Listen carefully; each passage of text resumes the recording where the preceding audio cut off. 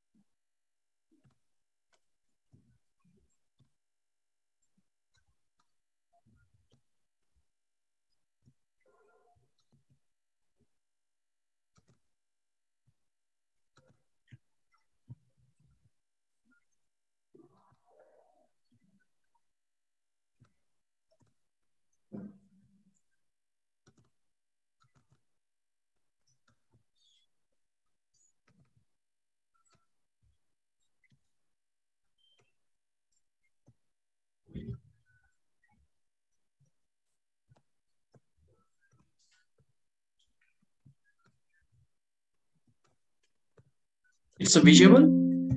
Yes, sir, it is visible. Okay. Uh, welcome But- to Agri. Hello. Sir, the screen is uh, somewhat wi- wider. Could you Okay. just please Zoom put out? Zoom या zoom in हो गया इसको थोड़ा screen को ना हाँ, उसकी zoom out ratio करना ठीक होगा। से it is slightly to the right it is slightly to the right side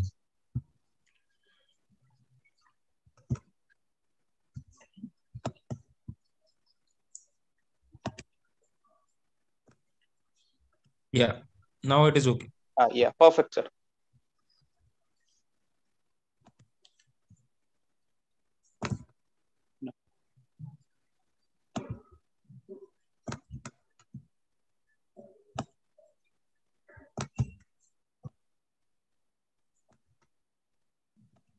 Now perfect.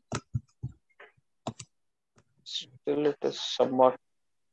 Could you please keep the title slide? Ah, yes, sir. It is not visible completely. Uh, it is in a zooming mode, so you need to zoom it out a bit.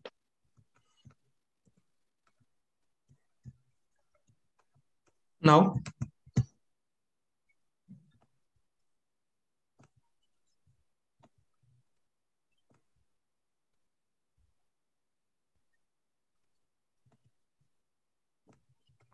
Now visible?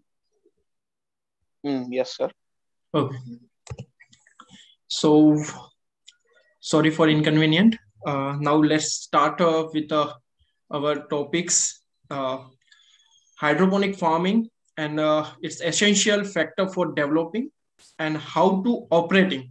So we uh, develop which are the factor are affecting for the developing and which parameter we observe for the developing of hydroponics commercial hydroponics projects and how to operate. So we can see uh, step by step. First what is the hydroponics? Everyone knows what is the hydroponics. Uh, uh, just we can see the simple it's art it's the art of growing a plant without soil is known as a hydroponics. Anyone plants can grow into the hydroponic system with what it need when it need and how amount of need. Without genetical change we can grow any plants into the hydroponic system with the proper selection of the system with the proper environmental we can grow any plants into the hydroponics systems. Then why we need to a hydroponics farm? We currently grown uh, well good agriculture practices with the traditional farming with the soil based farming and high tech soil based farming. So why we need to a hydroponics farm? So these are the basic difference between the soil based traditional farming and hydroponics farming. Uh, first we say the fertilizer and water use. In traditional farming and uh, soil based farming the fertilizer and water are losses through the percolation transpiration and uh, leaching but in a case of hydroponic systems the water cannot be a losses through other uh, system only the losses through the transpiration. It's that's why we uh, 90% water save than the traditional farming. And we can say in fertilizer the fertilizer is directly water soluble fertilizer applied through the plant root zone. So he can directly absorb from there. So fertilizer losses are less so very effective. When utilization of soil in this topic the soil based farming we need a fertile soil then a productive soil when also a favorable climate condition. When we talk about the hydroponics farming we can grow anywhere. It's a barrier soil unproductive soil also a concrete structure. We can also a growing a hydroponics farming then we talks about the growth of and productivity yield differences. Then growth is 30% faster in the hydroponic systems. When we discuss the example for the lettuce we growing into the outside uh, of the field is a soil based farming. They require 60 to 65 days for the maturity or the harvesting stage. This as compared to in hydroponics farming we require only 40 to 45 days because in hydroponic system we cannot be a any biotic or biotic stress are provide to the plants. So he can grow enjoy fully growing. That's why the 30% higher growth as well as 20% more yield as compared to soil based farming. In concept of workloading sustainability and pest and disease in workloading in uh, soil based farming we are doing a, a tillage, uh, tillage then plowing, then weeding. In case of hydroponics and high-tech farming, we don't need it. When we can say in sustainability, then unseasonal rainfall is very dangerous for the current uh, scenario. It's the losses of uh, millions and millions tons of products production of the farmers. Where in case of hydroponics farming, generally we uh, growing in a protected cultivation. So we can grow uh, very effectively as well as very intensively. When we can say the pest and disease, the more soil-based diseases are introduced in day by day into the soil-based crops. While in case of hydroponics, no uh, available soils. So it's uh, less infection of disease as well as we growing into the protected cultivation. So is pest are less observed. Also, the further uh, in hydroponics, in world population is 83 millions of people are added into every year into the world. So we assume that 2050, the people of population is 9.8 billion. So we need a 70% more ill and more food for the this meat to these people's food. That's why we need a 593 millions of hectare in 2050 for a fulfill a feed for the 9.8 billion people. It means it's a large amount of land. It's almost double size of India. It is nothing possible or uh, sorry, it's not possible to uh, this type, this much uh, quantity of soil we convert into the fertile soil. So we need uh, another options. So that's why the hydroponics are more uh, role, major role are, uh, for the uh, fulfill the feed to the 9.8 billion peoples and achieve in future. Also, we have a less availability of fresh, uh, fresh water. That's why the, we have options of hydroponics farming in, in uh, next generations and also a use of uh, commercially hydroponics farming and developing is a huge demand in current scenario. It's four to five times fall um, increasing in last 10 years.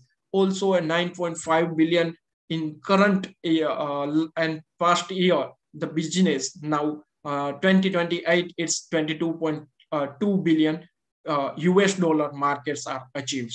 Then uh, the according to CGRS, it means compound annual growth rate it forecasting 13.53% into 2027 it's a huge uh, uh, demand in current uh, and uh, next future for hydroponics farming. When we develop the commercial hydroponics farming these are the different advantages revenue generation then also large land not required. We can do the vertical farming then less and reusable water some systems are uh, further I, uh, in next slides I will explain what are the system which is used for the reusable water. Then we have also effective use of nutrient, no nutrient losses. That's why cost saving and uh, effectively use of nutrient. Then easy pest and management. Then also uh, we use a little bit of pesticides or not uh, some uh, hydroponics farm is not no use of single uh, drops of pesticides. So food safety is also uh, easy, easy to harvest and sustainable farming, regular incomes. These are the best advantage for the commercial hydroponics farming. Now we, uh, to discuss on our major points. So what are the factors for developing a commercial hydroponic farming and what are the points you are not for the which type of farming you uh, adopt and which systems you are adopt for the commercial hydroponics farming. These are the different factors we discuss on one by one. Uh, first is the structure. then uh, two type of structure. It's one is outdoor type of projects and uh, another one is indoor type of project. What is outdoor type of project? The available of natural source of light. It means sunlight are available and we develop this type of project is known as an outdoor project. And uh, in this project, we have a fan pen polyhouse structure. Then natural ventilated polyhouse structure is known as a NVPH. Then insect-proof net house then rain protected net house. This is the new technology which is introduced by the uh, Israel. Is currently in four to five projects already developed into the India. Then when can in in indoor projects the natural light uh, source of light not available when we provide uh, artificial light as that type of project is known as a indoor project the project is developed in balcony, room, warehouse, underground rooms, and uh, anywhere we can uh, are growing uh, indoor projects and develop projects. The different uh, classification of the hydroponic systems, different systems are available currently. So we discuss on one by one and what are the uh, advantage and what are the disadvantage we discuss. This is the Wick system. These are the basic system for the hydroponic system. You can try our homes but we cannot be a utilized in a uh, uh, we cannot be a utilized into the commercial hydroponics projects. Uh, in in this system the reservoir with a nutrient are into a one uh, reservoir and then we are absorbs the nutrient and supply to the growing tray. So plants can easily absorb the nutrients and he can uh, grow easily. But it cannot be a use for commercial purpose because weak uh, system are not able to uh, efficient nutrient are supplied to the plants at the particular stage of plants. Second is a ebb and flow system. It's also known as a flood and drain systems. In this system,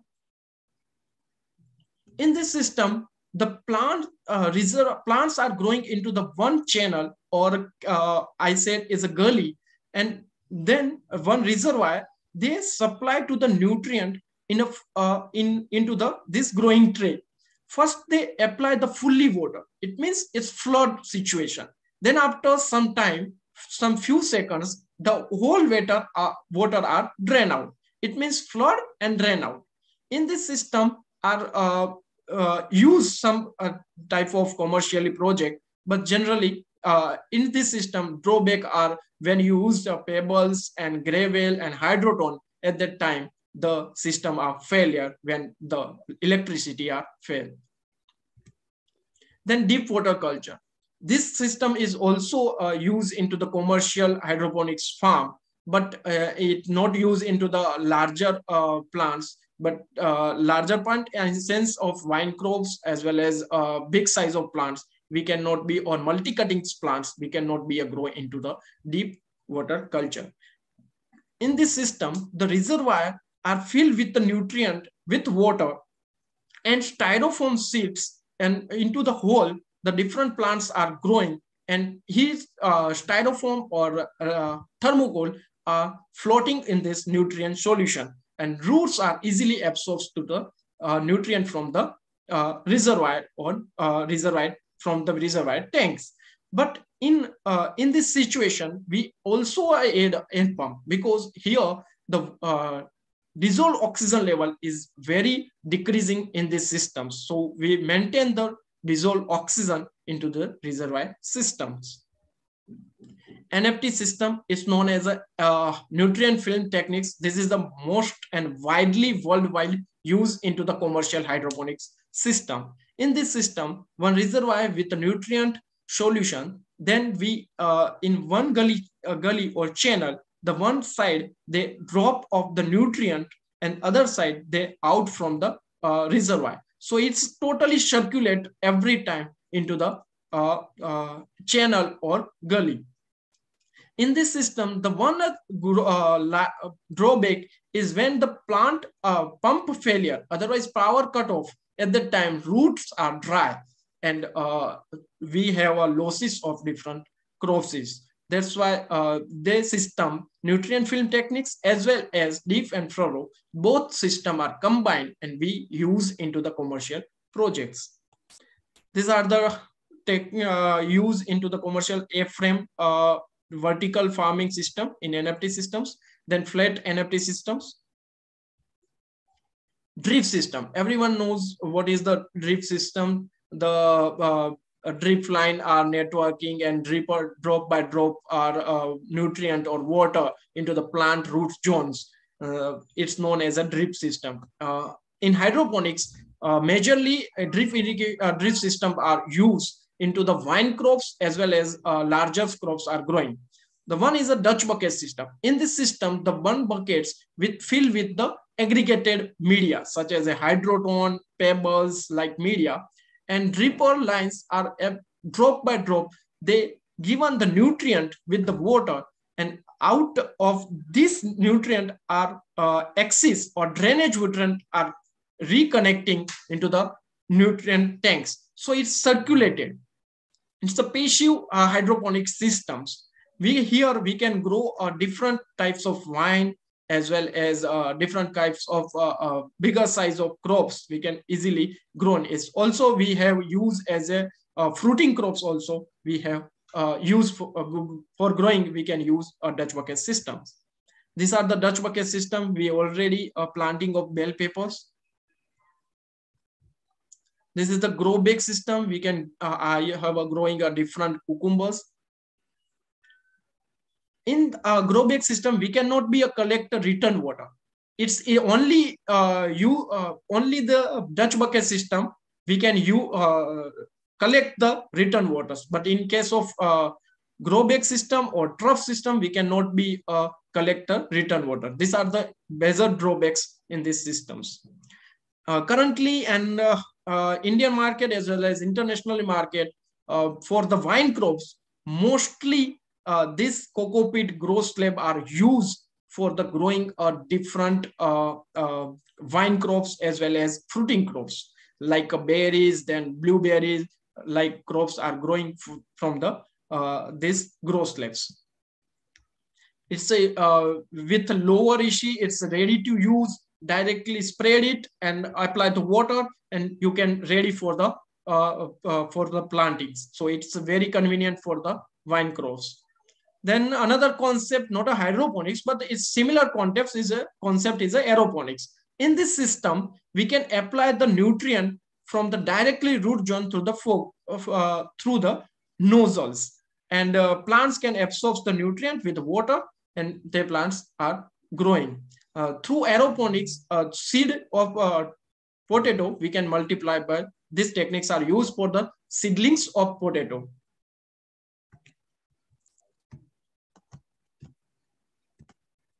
Then aquaponics, everyone know it's both system uh, simultaneously. We can uh, growing a fish as well as we can growing a plants. The uh, fish or aquatic extracta are used for the as a nutrient of the uh, our uh, crops. But in these techniques, majorly uh, drawback is we cannot be a balance of nutrient into the plants. So deficiency of different nutrient are observed into the plants. Another concept is a hydroponics fodder. It is a very used uh, currently high-tech dairy farming. Here are use of hydroponics fodder. One of, one of the project in Banas Dairy in Gujarat, it is a, a, a SGS largest dairy platform, is also uh, used as a hydroponics fodder at the pilot project. In this system, no medias are required, only the grains are uh, spread it and they, they, sprouted after seven to eight uh, weeks. They are, uh, sorry, seven to eight days are ready and then directly used for the, uh, as a cattle feed. Then uh, microgreens, it's also a very uh, useful concept for the uh, current scenario. Uh, uh, people are very aware from the microgreens. So its demand day by day increasing. In microgreens is 70 times more nutrients per gram per as compared to matures. So it's known as a superfood. Uh, and also uh, Gujarat government are introduced into the pilot project into the uh, primary school for the mid-term food. into the microgreens are introduced after the election. Microgreens are different uh, uh, into the, I have this uh, uh, slide the picture, red amaranthus, mustard microgreens and rocket microgreens. These are the, I will grow into the Maldives when I go to the Maldives for the agronomist uh, consultancy. This is edible flower. Is also a current market is uh, day by day increase for the garnishing, taste purpose, flavor. Uh, here used for the uh, this um, edible formats. In edible formats, currently in BigBasket, he given uh, uh, arounding 150 bucks for the 10 grams. So it's a high value crops. Then environment is definitely important factors uh, is environment. Among them, temperature are very, uh, very, very important for the growing into the house. Uh, I said house means in the poly house uh, uh, structure. Uh, temperature is important for the growth and development structure, also a germination, growth and development of plant. We are generally 70 to 27 uh, poly, maintained into the polyhouse structure. So maximum crops are growing into the same range. We are uh, using the two types of maintain the temperature for the better growth and development of crops. It's atmospheric temperature, it's known as air temperature, or water, yani nutrient solution temperature, also known as a root zone temperature. In temperature, uh, are directly correlated with the, our photosynthesis. It means directly correlated with our food. So it's ma majorly impact into the, our photosynthesis, transpiration, respiration. So is maintain is most important into the our curriculum.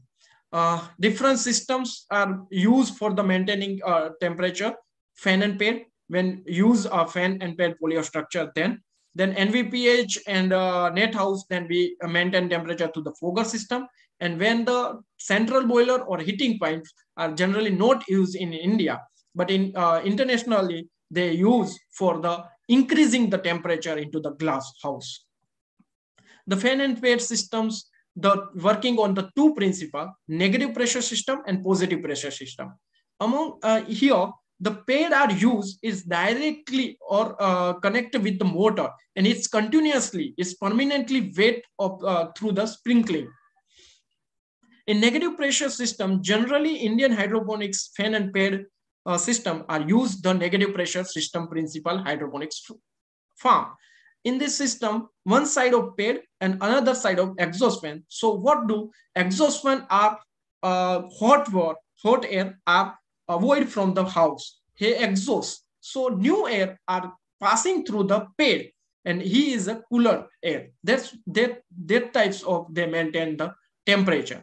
It's simple. Our uh, in our house we use the coolers. The same principle used here. And positive pressure system uh, generally there's not use of any kind uh, any house. I cannot be a see in uh, any house of this use this principle and uh, run the farm it's a reverse uh, than the positive negative pressure systems. These are the basic structure of fan and pad uh, we have used. In fan and pad, exhaust fan and pad, it not be a more than 25 meter up, uh, should be not be a more than 25 meters. And also a fan number of fan is according to the your structure. Then cellular pad are available into the market 2 inchy, 4 inchy, 6 inchy, and 12 inchy depth. But generally commercial hydroponics farm are used as a six inch farm. In indoor, we use a AC, yani air conditioner systems. Fogger, Fogger are used for the both parameters for controlling as well. One is a, a relative humidity and another one is a temperature. We uh, uh, in humidity also are maintained through the Fogger and uh, temperature. Uh, we can uh, sprinkling uh, water and the water droplets are very important for the cooling uh, parts. The when dropper are smaller size, then increasing temperature very fast. Central boiling system and heating pipe, I already said this is not used in India, but it is internationally used for the glass house for increasing the temperature. Root uh, nutrient solution and uh, root zone temperature maintained is generally required 20 to 30 Celsius. very high or very low, it's very uh, uh, affected uh, into the yield. He cannot be a plant cannot be a easily absorbs the nutrient from the plants. And as well as the higher temperature are also uh, decrease the dissolved oxygen level into the water. So fungal attacks and root rots are observed into the roots. These are the nutrient solution chiller and uh, nutrient solution heater are uh, used for the control environment. Then relative humidity, everyone know humidity uh, quantity of water present into air is known as humidity. Relative humidity is the amount of water vapor present into the air compared to the maximum amount of water vapor air can be hold at temperature. Matlab जो uh, this temperature how many water amount are uh, absorbed by the uh, by the air is known as a relative humidity. And relative humidity the relative humidity uh, uh, are measured by the hygrometer. And uh, both temperature and relative humidity measured by the hygrothermometer. The humidity are range required 50 to 80 percent. The higher humidity, it means the stomata are closed onto the plants that's why they reduce the transpiration. They cannot be a suck of water from the root zone. So nutrient are also a, a, a transpiration are, uh, effect. That's why the translocation of food material and nutrients are not uh, properly. That's why the we have symptoms of the calcium deficiency and the riptops. When the relative humidity high, then more pest and disease are uh, multiplication and spore of germination are highly favorable for the disease. Also, uh, pollen are not dispatched. That's why yield are reduction. When low relative humidity, the higher rate of transpiration, the plant lose their turgidity and we can lose the our yield. So how can we maintain the relative humidity? When relative humidity are very low, then we use the fogger. The fogger sprinkling the air into the house. That's why increase the humidity. But higher humidity, how to control? At the time, we close the pair, only the running of exhaust fan. So exhaust fan what do? The amount of uh, air present into, uh, amount of water present into air is throw out from the house. And air circulated fan, there cannot be uh, uh, uh not a moisture uh, near by the plant canopy. So it's very useful techniques for the reducing humidity. Light. Light is a directly positive correlation with the our yield it's a uh, directly correlation with photosynthesis. The photosynthesis are most basic metabolism process. That's why light is a directly correlated, positive correlated with the our yield. So light intensity is must be required, uh, or minimum or maximum. Uh, it's 10 uh, uh, 10,000s and 18,000s uh, lux required for the better production of lights, uh, better production of crops into the our house. In outdoor project, we use or maintain the lights through the shade net. 50% aluminum shade net we are used for the generally polyhouse structure for reducing the light intensity. And uh, also a different color of uh, green color, then blue color nets are available for different crops. Uh, according to crops, we have used the, uh, this type of shade nets. In indoor project, we use HID LED Generally, commercial indoor farming are use LED. Is 7440 to 770 nanometers wavelength are ready to available into the market LED. So we install and we can grow the plants. Or according to crops, we also uh, customize our specification of wavelengths. Carbon dioxide, generally no uh, anyone uh, maintain the carbon dioxide artificially uh, otherwise uh, through uh, pressure or release a carbon dioxide into the house. It's generally naturally maintained almost, but we can observe these things into the carbon dioxide. Main important things is nutrient solution and water. They are we, this is the media for our plants. So uh, in water, we require a premium quality of water. Uh, in a we a minimum level of TDS, then alkalinity, hardness, iron level, everything we have earlier taste. We can feasible first water, which water we use, he can conveniently available or not available. This type of uh, are we uh, we observe and then after we install the our hydroponics projects. Uh, definitely we use the RO water, but its TDS is more than more to more 4,000 or 3,000 TDS, then RO, how can you, uh, a project are viable? So RO water uh, are used into the hydroponics system because in RO water, no single or less, uh, sorry, less amount of anion and cation. So we, it, it is a considered as a base solution. So uh, I, I can give on the one example. Uh, RO water is like a, a whiteboard. So we uh, assume and we um, thinking i will draw this type of painting and this type of painting. So we can drawing this type of painting. So RO water is a stand we use for the it is a base solution. That's why we use RO water. The nutrient differences uh, 17 essential plant nutrients are available basic primary secondary and micronutrients everyone knows uh, this nutrient are available uh, but in hydroponic system, two factor to keep in mind, the com composition of your nutrient, it may be a content all of the elements required for the plant growth in current ratio. We can use a nutrient, suppose major nutrient, we require our growing these plants, we require nitrogen this much. So we first we study then after we uh, make a nutrient for the, our plants, that's why we grow the fully growth and faster growth of plants. Here not available of soil. So he act as a buffer. We apply the more nitrogen, more urea, they store the soils and slowly and slowly plants are absorbed from the soils. Here it cannot be a possible. So we uh, study the first which crop we grow then after we uh, making a nutrient according to this crops and also a strength of EC because we here hydroponics farm, we not be uh, every time to analysis. We assume through the EC. So EC are most important factor for the hydroponics projects. Uh, these are the nutrient making and application. Uh, generally, hydroponics are uh, making a part A and part B but uh, I have a developer three parts, part A, part B, and part C. And also uh, we require a pH buffer solution uh, when pH decreasing when used as a phosphoric acid and pH increase for potassium hydroxide. These are the autodoser systems.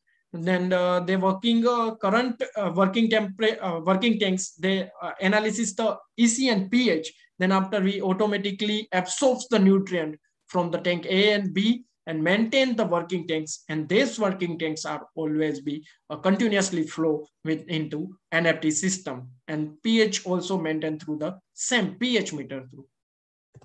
What is the electric conductivity? This is the basic rule we are in when you develop the hydroponics farm or commercial run up the commercial hydroponic farm, then this is the best things to know about uh, how uh, working uh, uh, working electric conductivity what is electric conductivity how to measure it. So electric conductivity is a ability to solution to carry the current electric current. It means uh, solution it means water may how many anion or cation he are uh, uh, calculate and we saw in the point of uh, microsiemens per centimeter or millisiemens per centimeter when a, we use the uh, RO water, the EC is less. It means anion cation less available into the uh, RO water.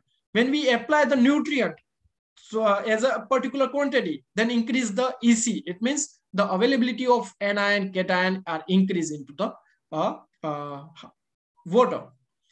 And uh, EC and TDS are is a convergible factor. Is uh, in EC we uh, can multiply by 500, then it's automatically uh, met the value is a TDS, it's known as a ppm.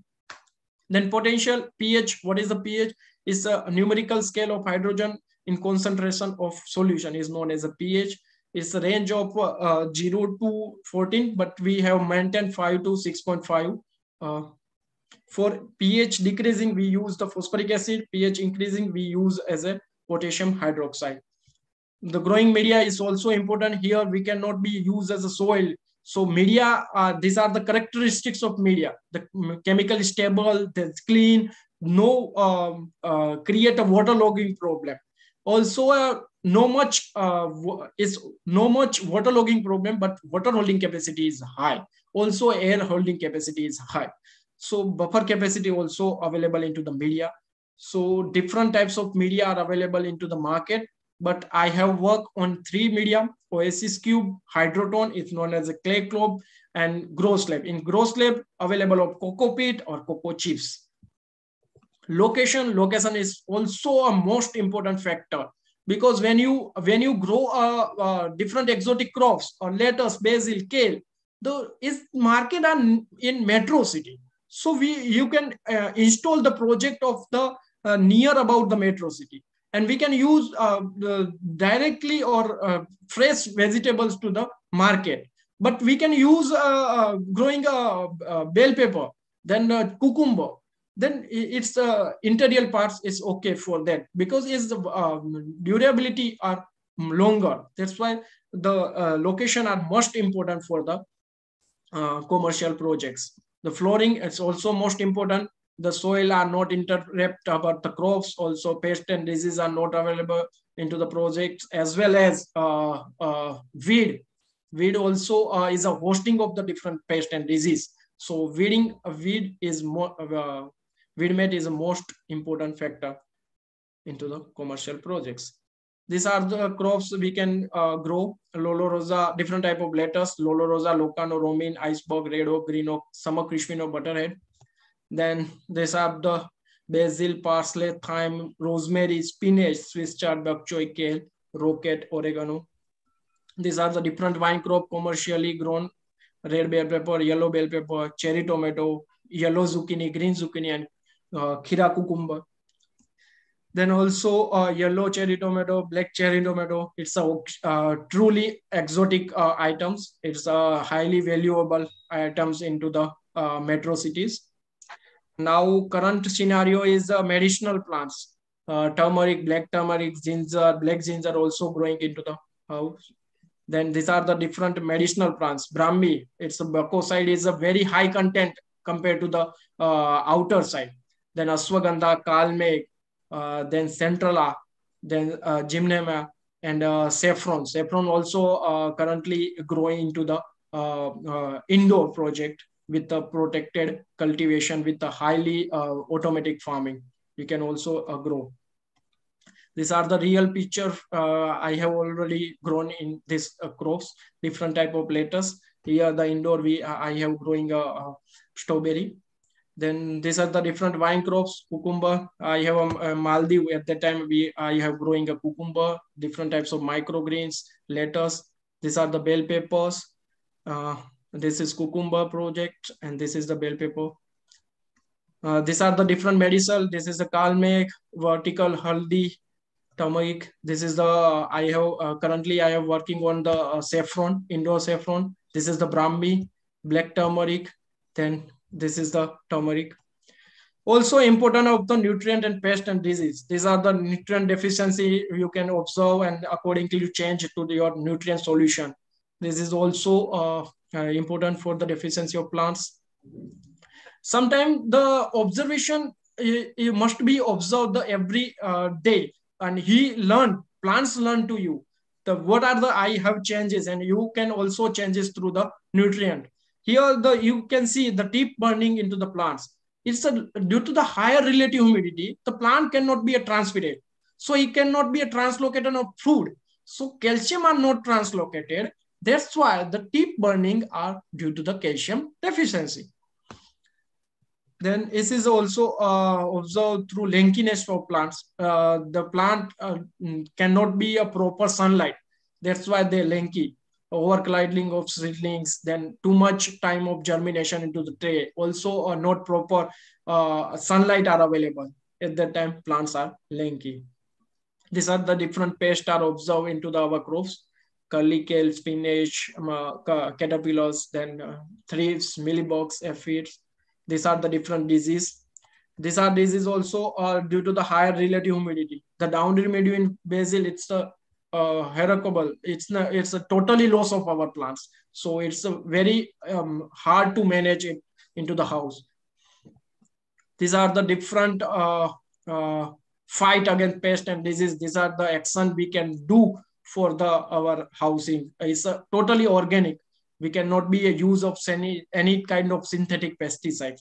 Huh, yes, you can use very uh, the economic threshold level of uh, increasing then then you can use uh, at least one spray of uh, any kind of uh, sucking paste or any kind of uh, but it's when we thinking the totally losing at that time we use the pesticide synthetic pesticides. Otherwise you can manage easily with proper hygiene or proper maintenance then you can easily manage the pest and disease through the organically uh, you can use also yellow and blue sticky tape to me mechanically control pest, uh, pest. Then mass apron are used. Visible observe. Uh, in hydroponics farm, overnight are spreading of pest and disease because also a favorable condition for the pest and disease. So observation, daily observation is very, very important into the, when we work into the control herbs, that time we very uh, important to the visual observation. Also a hand sterilizer, food sterilizer, zigzag entry are avoid the pest and disease entry into the house. Then the project operation guideline uh, in, in staff, labor, and caretaker are also a well uh, skilled portion. So it's a, a, very easy to manage a commercial hydroponics. In daily activity, you can also uh, uh maintain what are the EC pH, current temperature, relative humidity, what are germinations, uh, what you can spray in organically, would, who can be, a, how can be a harvest, who harvest, is um, such type of parameters you maintain the everyday and uh, write down the daily activity. Then harvesting is also an important factor. Which crops are mature, how to manage uh, with the markets according to germinations, so in this hydroponic system, you can reverse calculation. I need a, uh, in Diwali, I need a lots of lettuce. So I, in Diwali, I can grow uh, 45 days earlier, uh, planning to grow a lettuce. So uh, my harvesting are coming into Diwali or my bell pepper or cherry tomato are harvesting in Diwali. I can grow uh, uh, microgreens. So seven days earlier, I grow the microgreens. So harvesting in Diwali. So this type of planning are need to be uh, uh, commercialize and uh, uh, viability for the calculation. Okay. Then packaging also important. Then storage, shelf life, then maintenance apart are also important. Then safety of unit because it's a, totally polyethylene so um, uh, outside of animals are uh, important so maintain the uh, outside boundary restriction of an unknown person entry this type of safety you can maintain your unit these are the my contact number. You can have a more further detail. You can follow my LinkedIn. I will always be a po uh, post into LinkedIn. Then also uh, any query, you can share my uh, in my email ID. These are the, uh, I have a freelancing. Uh, anyone need uh, require a consultancy, then also contact from this line. Thank you. Thank you so much.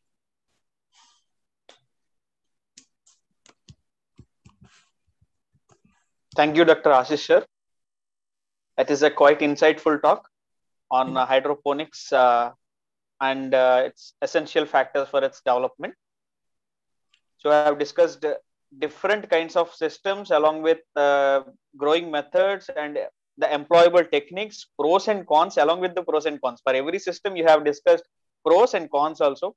So this is a quite insightful talk our uh, attendees.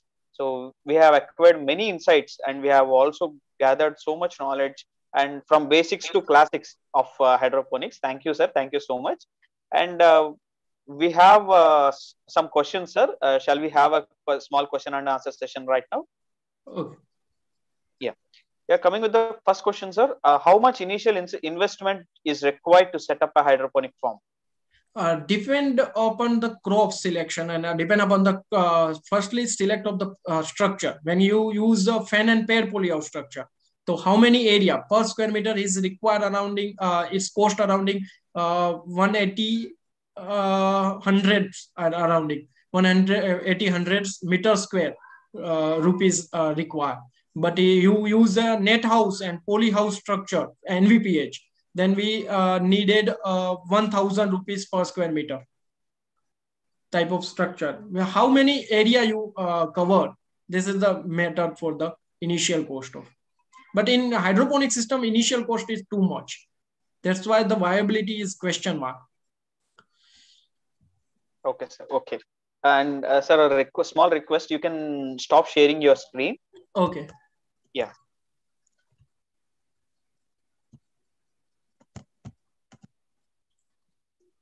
Uh, now coming to the next question, sir. So what are the basic challenges that people face in hydroponics and aquaponics? Uh, in hydroponics, currently major ch- uh, challenging is the market. Everyone is developed the hydroponics farming and everyone is are doing uh, exotic crops. But Indian currently Indian scenario, only the one or two percent people are eat or consume the exotic vegetables the these are the major i think major uh, drawbacks or uh, challenges for the uh, hydroponics. Definitely you have a market from the uh, uh, outer country. You can export. You have a line then that is a different uh, it is a huge huge demand of the this hydroponics project Okay, sir. Sure. And uh, coming to that uh, aquaponics, I have a one uh, question, sir. So you said that uh, uh, the both the fish and uh, yes. plants can grow simultaneously. So is there any chances of like fish is an animal system, plant is a um, plant different system. So by growing these both simultaneously, is there any like chance of transferring some diseases or some any different yes, environment? Yes, yes, it's a very very hard to manage it because in aqua uh, animals our extractor is more ammonia. Yes. so which is uh, harmful for our uh, plants. But plants uh, it's also a require different micronutrients phosphorus potassium. So it, we cannot be add into the directly into the water tank. So fish are that so simultaneously maintain is too much too much difficult uh, for the growing aquaponics so commercially i i cannot be a seen a larger size of commercially uh, aquaponics farming. Okay, sir. And uh, one more question, sir. Uh, actually, coming to the ground level, like if we grow a plant system or a crop in a field, so there will be certain soil rhizosphere will be there, soil microbiota will be there. So that may show some effect on the nutrient conditions and also making the nutrients available from the soil to the plant system. Yes. But coming to this aquaponics or hydroponic systems, we may not have such kind of microbiota. So how it affects? Is there any ch- change in the plant growth or plant taste or any other traits? Um, Sandeep ji, I think uh, in we use uh, in uh, soil-based farming, we use the different kind of uh, uh, agriculture-based uh, fertilizer. It's directly, it's some nutrient is directly not available for the plants so that's why we require the microbes and uh, bacteria, beneficial bacteria. But in case of hydroponics farming and uh, in NFT or any, any kind of system, we directly use available form of water soluble fertilizer. So plants directly absorb from them. So when here we cannot be a, uh, a require a beneficial bacteria from the uh, media. That's simple. Okay, sir. Next, uh, one more question, sir. Are there any chances of excess nutrient accumulation in the hydroponic system? Yes, uh, uh I have. Uh, it's a very, very uh, uh, disadvantage of hydroponic system. I will say, one when we use the auto doser, at the time what happened? Some it's a machine, so he a, lots of nutrient are added into the working tank. So totally plants are fed so this is a very drawback when we use the excess of nutrient, then the plant's failure chances are most. Okay.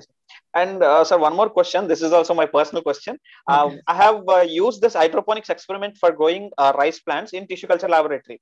We mm. have used Yoshida solution that is designed particularly for rice growth okay but what we have faced the problem is after like one day or two day usually we used to change the media regular intervals hmm. but the thing is uh, on the roots i mean on downside the plant where the root is dipped into the media so there is a, an accumulation of some salt kind of thing and also there is an accumulation of green color uh, uh, this thing was developed on the root uh, Okay. system. First, So- check the Sandeep ji. First, you uh, put out the plants and the fill the roots. The roots are sticky. It means it's a not healthy sign. Second, you see the green color particles are observed. It's algae. It's a no, uh, it's nothing things. It, it cannot be harmful your roots. But first stick sticky roots. Then you little bit scratching. No? Then roots are uh, broken. It means it's a uh, very unhealthy roots. So these are the three signs you observe, and then after you can change your uh, you can measure the BOD biological oxygen demand in the root. What are the temperature? What is the nutrient? These are the factor chain uh, uh, analysis, and then your plants is ready. Okay, sir, fine. And uh, one more question we have, sir. Sir, uh, like, uh, are there any uh, government permissions or procedures that are required for hydroponically uh, grown plants or products? So, is there any certifications required? So, for to release No. this product commercially? No, no, no, no, no certificate are required. You directly sell uh, as a uh, label of uh, hydroponics products as well as uh, zero pesticide. You cannot be apply any kind of pesticide through growing uh, crops. Then you can also uh, be a say. Otherwise, you analysis of pesticide uh, residue analysis report, and then you can say this product is a zero pesticide based or residue free pest products. Okay, sir. Uh, then I have one more uh, question. Like, as we are growing this under complete uh, ideal ideal conditions, so are there any risks of that plant is being prone to certain biotic or abiotic stresses? I mean, if it is in a controlled condition, so later on, if, if you wanted to grow the same one as an uh, under uh, ground level or field conditions, so this may alter the plant system. Uh, is there it, it may make any changes permanently, or it doesn't affect anything? Uh, uh, can you can you repeat your question? Like Yeah. we are growing the plant systems in a complete ideal conditions like in under Okay. polyhouse under ac under pad systems uh, likewise so is this uh, makes a permanent change on a on this uh, plant system to withstand to without uh, No, withstanding no, the this is- I, I, I given the some simple example. yeah You have a 4 GB data in your phone. You have a access of Amazon, uh, Flipkart. You close with the your room with full AC, full full facility. You can grow automatically your grain the weight. Understood? And we you are also uh, after few weeks you go to the outside, full sunlight, full sweat with full speed of wind driving so you can i you i can say you can understand so when we plants to given a full environment with a full protected condition the plant automatically healthy grow but it cannot be a change of any genetically change. Same seeds then uh, next progeny you can grow outside. It may be a different. Okay sir. Okay okay. Thank yeah also uh, potato of seeds seedlings uh, multiplication. Use the aeroponics. Then after the potato outcome they use as a soil soil growing and then after uh, they distribute the plant farmers. Okay. okay sir.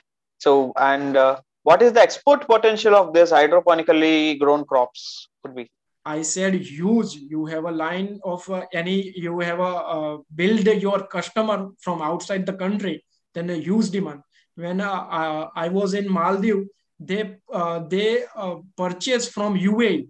It's a four dollar per kg of lettuce. You can see amazing. It's a tons of lettuce are import from the UAE.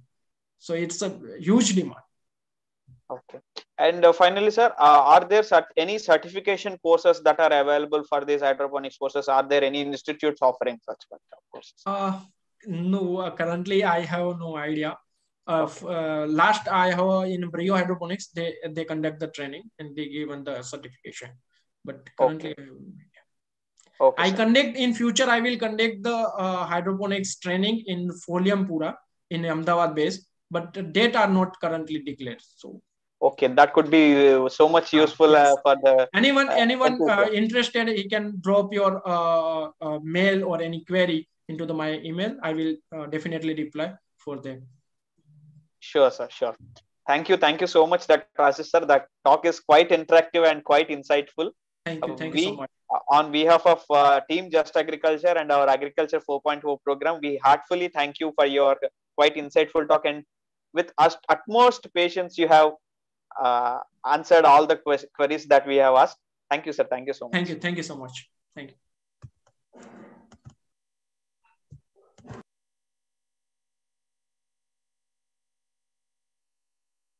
Now I would request the next host, Dr. Preeti, to, to take, take the session.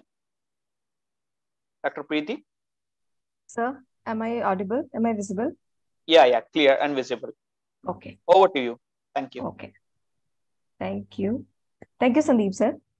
Uh, hope I'm audible to uh, everybody. Slightly apna camera adjust karo thoda. Okay. I hope uh, this is fine now. Uh, slightly uh, upward. Yeah, yeah, yeah, perfect, perfect. Okay, thank you. Hope I'm audible to everybody. A very good evening, everyone. On the behalf of Sher-e-Kashmir University of Agricultural Sciences and Technology, Team Just Agriculture and Agro-Environmental Education and Farmers Welfare Society Punjab, I Preeti cordially welcome all of you to the to the third day of Agriculture 4.0, the future of farming technology and agripreneurship development, which is a 15 days international online training program come workshop. I wholeheartedly welcome all of you. As you all know, this program is jointly organized by Sher Kashmir University of Agricultural Sciences and Technology Kashmir, Just Agriculture with Agro-Environmental Education and Farmers Welfare Society Punjab also. I must con congratulate a team Just Agriculture for organizing such insightful training programs at very regular intervals, and also for collaborating with such big firms and organizations within a such short span of time. So now, without wasting any time, uh, I would like to bring your attention to the, our next session and warmly welcome our chief guest of this session, Dr. Pratap Mukhopadhyay, who is currently an expert member of East Kolkata Wetland Authority, Government of West Bengal, a guest faculty at Vidyasagar University Midnapur. The chief editor of Mat Matsya Sangbad, a magazine from Fishing Chimes publication house, Vizag, Andhra Pradesh. Sir holds a PhD degree in biochemistry from the University of Calcutta and then he was a postdoctoral fellow at the University of Stirling in the United Kingdoms in the year 1992. And also, Sir has been a visiting scientist at INRA, that is National Institute for Agronomic Research at STP in France in 2000. Sir has given his service in ICAR, where he worked as a principal scientist at the Central Institute of Freshwater Aquaculture, Bhubaneswar. In the year 2013, Sir retired from ICAR service as well. Sir has worked with FAO as an aquaculture consultant, FAO Kenya office at Nairobi, and FAO Uganda office at Kampala. In 2016, he was appointed as a professor and mentor at the Neotia University, Diamond Harbour, Kolkata, where he was attached for more than a year during the year 2018-19. He has he's a uh, guest faculty at the Geology Department, University of uh, University College of Science, Technology and Agriculture, Ballygunge, Kolkata, and recently completed a, a project funded by uh, Department of Science and Technology, Government of India, New Delhi, as a principal investigator. This project was related to science for equity, empowerment, and development, which you have been uh, seen somewhere like SEED division of DST, Government of India. In association with Kolkata-based NGO, Center for Environmental Management and Participatory Development, CEMPD. His present research interests are in the area is in the area of aquatic bioresources in the context of rural development. Sir has Sir has uh, Sir has about 200 peer-reviewed research publications, several book chapters, and authored books as well. Also, Sir has been supervised the PhD research work of 11 PhD research scholars. Sir has been a state awardee from the Department of Science and Technology, Government of West Bengal, as well as national awardee at ICAR New Delhi. We are very grateful to have you here, sir. Our audience is waiting to listen to you. So now I would like to request sir to join the podium and address sir. Address sir. Welcome you, sir. Hello, sir.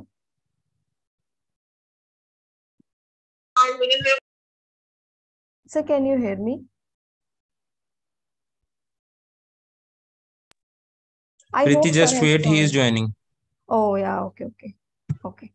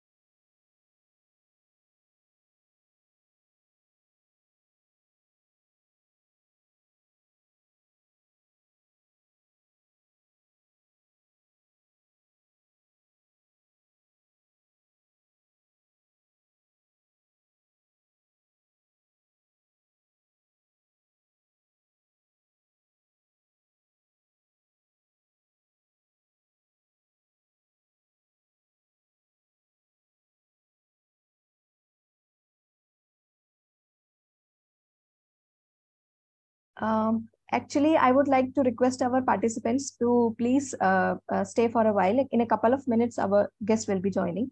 So before he joins, I would like to I would like to just tell you about Just Agriculture. Uh, just Agriculture is India's largest agriculture professional platform with more than 5.5 lakh readers across the world. It offers a it offers a platform for researchers, students, scientists, and other agricultural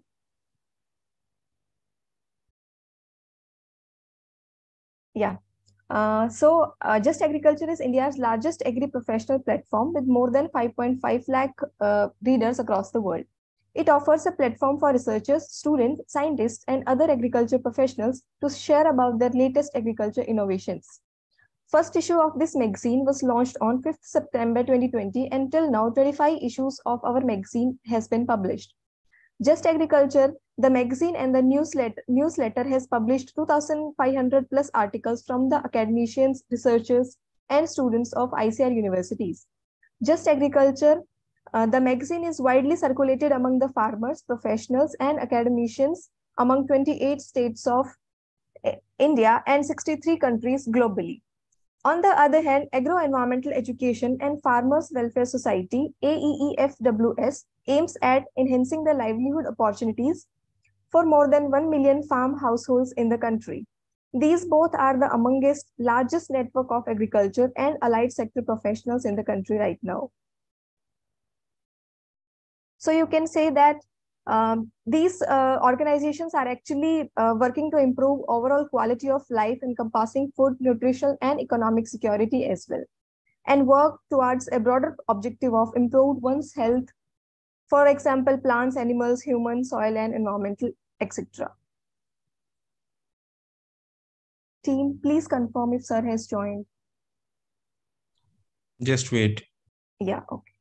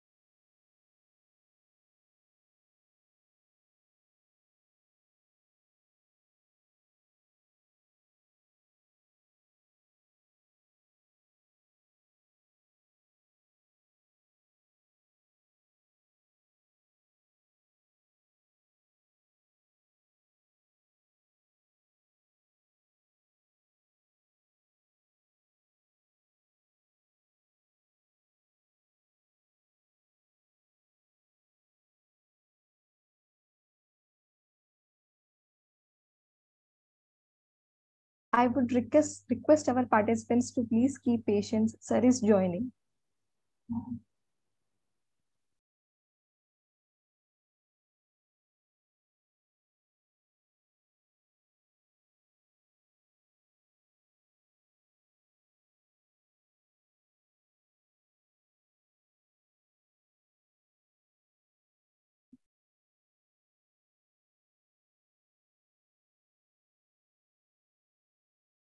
Before Sir joins, I would like to I would like to tell our participants about the co-organizers of this program, which are uh, National Agriculture Higher Education Project NAHEP, National uh, National Medicinal Plant Board Government of India, MPUAT Udaipur, Maharana uh, MPUAT Udaipur, Maharana Pratap Horticulture University, Karnal, uh, our knowledge partners are Professor Jayashankar Telangana State Agriculture University, Hyderabad, Bidhan Chandra Krishi Vishwavidyalaya, West Bengal, PNM KV Prabhani, Al Azhar University, Izit, Anand Niketan College of Agriculture, Varora, Shulini University, Shulini University, Solan, Himachal Pradesh, Utkarsh PDKV, Akola, uh, Jagannath University, Rayat Bahara University, Mohali, Chandigarh University, Quantum University, Roorkee, Geeta University, Maharshi Markandeshwar University, Sanskriti University, uh, Guru Kashi University, Bhatinda, Shobhit University, Baba Farid Group of Institutions, Bhatinda. Pritish sir has joined. Uh, okay, okay, sir. Kindly introduce him. Okay.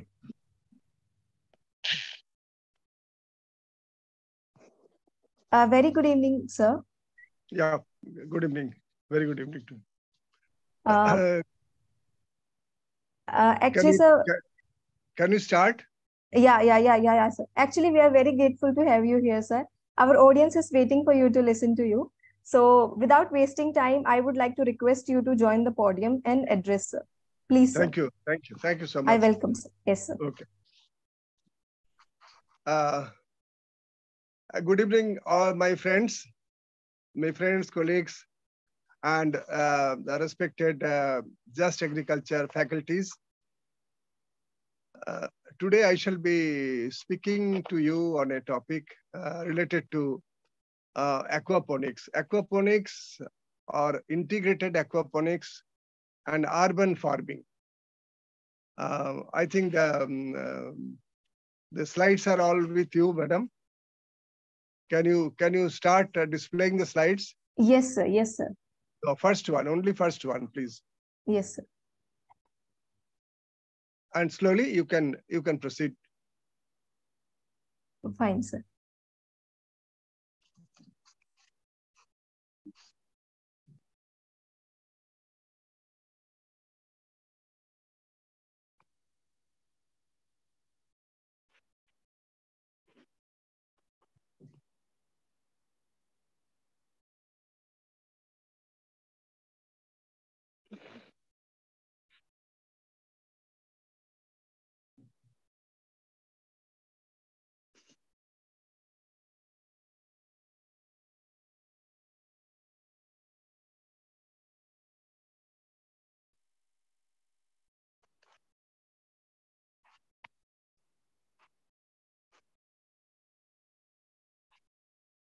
Our team is sharing the screen, sir. Okay, please.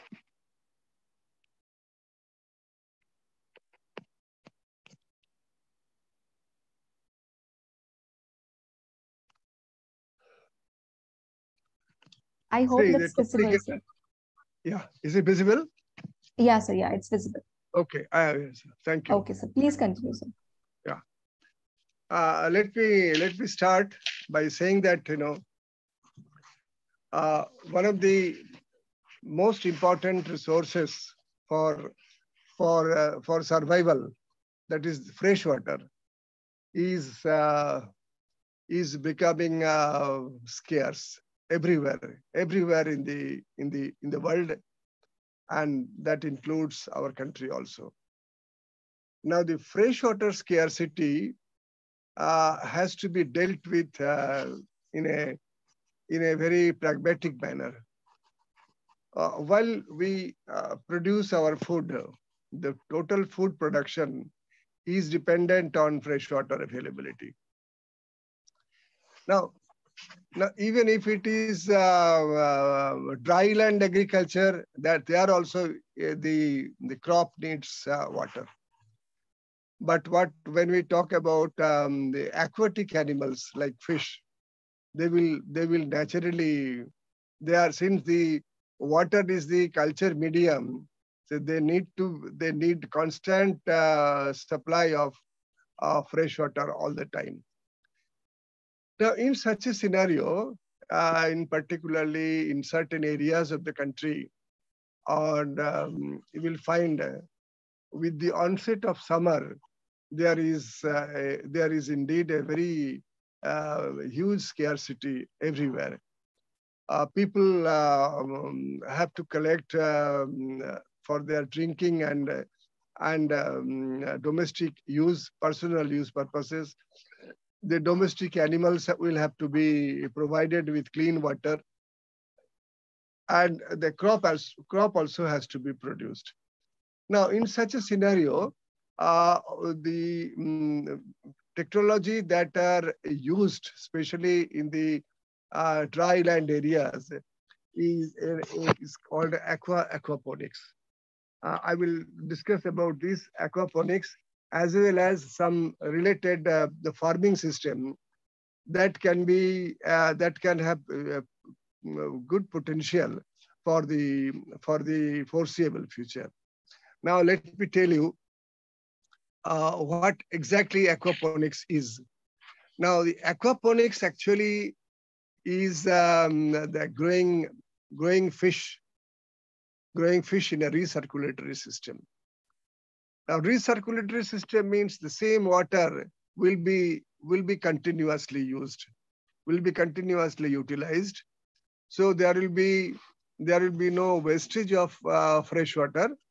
And at the same time, this um, uh, continuous cleaning of the fresh water, which uh, gets deteriorated because of uh, the fish farming will be taken care of the, by, by the plants. So aqua is actually the growing fish in the system and ponics or the ponos, that's the Greek word which means the growing plants with or without soil media. So in brief, aquaponics is an integrated system of aquaculture as well as uh, plant um, growing of the plants or plant cultivation, whatever you call it. Now let me tell you what exactly, how exactly aquaponic system works. Uh, now the uh, aquaponic system, aquaponic system works uh, in a very uh, interesting fashion here in this aquaponic system, can you can you show the next slide, please? Uh, in the in the in the aquaponic system, the fish are reared. Fish are reared in the aquarium or the tank normally, as they are as they are reared. In this, the tank size may differ depending on the capacity of the of the farming system wherein the where, wherein the aquaculturists have uh, ventured, and water from from this fish tank is pumped um, to the plants. These plants are um, reared uh, just by the side somewhere. What actually happens, unlike uh, uh unlike terrestrial animals, uh, fishes um, uh, excrete ammonia um, fishes excrete ammonia, not urea, urea or uric acid. So fish is ammonotelic. Unlike us, we are urea. We, we human beings or the other uh, vertebrates, we are all ureotelic, but fish is ammonotelic. Now this ammonia is uh, becoming uh, the, the moment, since it is highly soluble, it gets accumulated slowly and it it can uh, exert toxic actions. Now, these um, ammonia uh, reduction is the first task that has to be taken care of in a aquaponic system or in a system where fish is growing and these uh, fish is growing in a recirculatory uh, with recirculatory water. Now, this um, cleaning, cleaning of the mess, I should say, this uh, I am telling you the um, ammonia buildup is a mess, is a mess in the system. Now, this is beautifully taken care of the bacterial population. Now, uh, the bacterial population naturally present there. These bacterial population convert ammonia first into nitrite. And again, the nitrite is acted upon by another set of bacteria. I, I will discuss all those in detail a little later. Now, nitrites then convert get converted into nitrates. I think these are all uh, known to all of you. Now, once the nitrates are formed, it becomes easy for the plants to absorb. Now, once the nitrates are formed, then there is no difficulty in um, uh, taking up by the roots of the plants. And once the nitrates are removed by, um, by, the, um, uh, by the plants, the water becomes clean or water becomes filtered, whatever you call it. And once the water becomes filtered or cleaned, it is again pumped to the fish system. So the, for fish, the ambient water becomes stress-free and plants also can get nitrates and uh, grow well. And for us, we get both, um, both plants and fish simultaneously. So this is exactly how the system of aquaponics works. So the main uh, contributors are a two sets of micro, uh, microorganisms, two sets of bacteria, I should say, who gradually convert ammonia to nitrite and then to nitrate.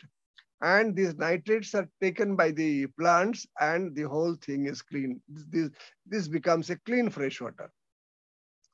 Now, naturally, the question uh, comes, naturally, the uh, question comes, uh, why, why aquaponics? When there are so many uh, freshwater resources in our body, in our country, why should we go for aquaponics?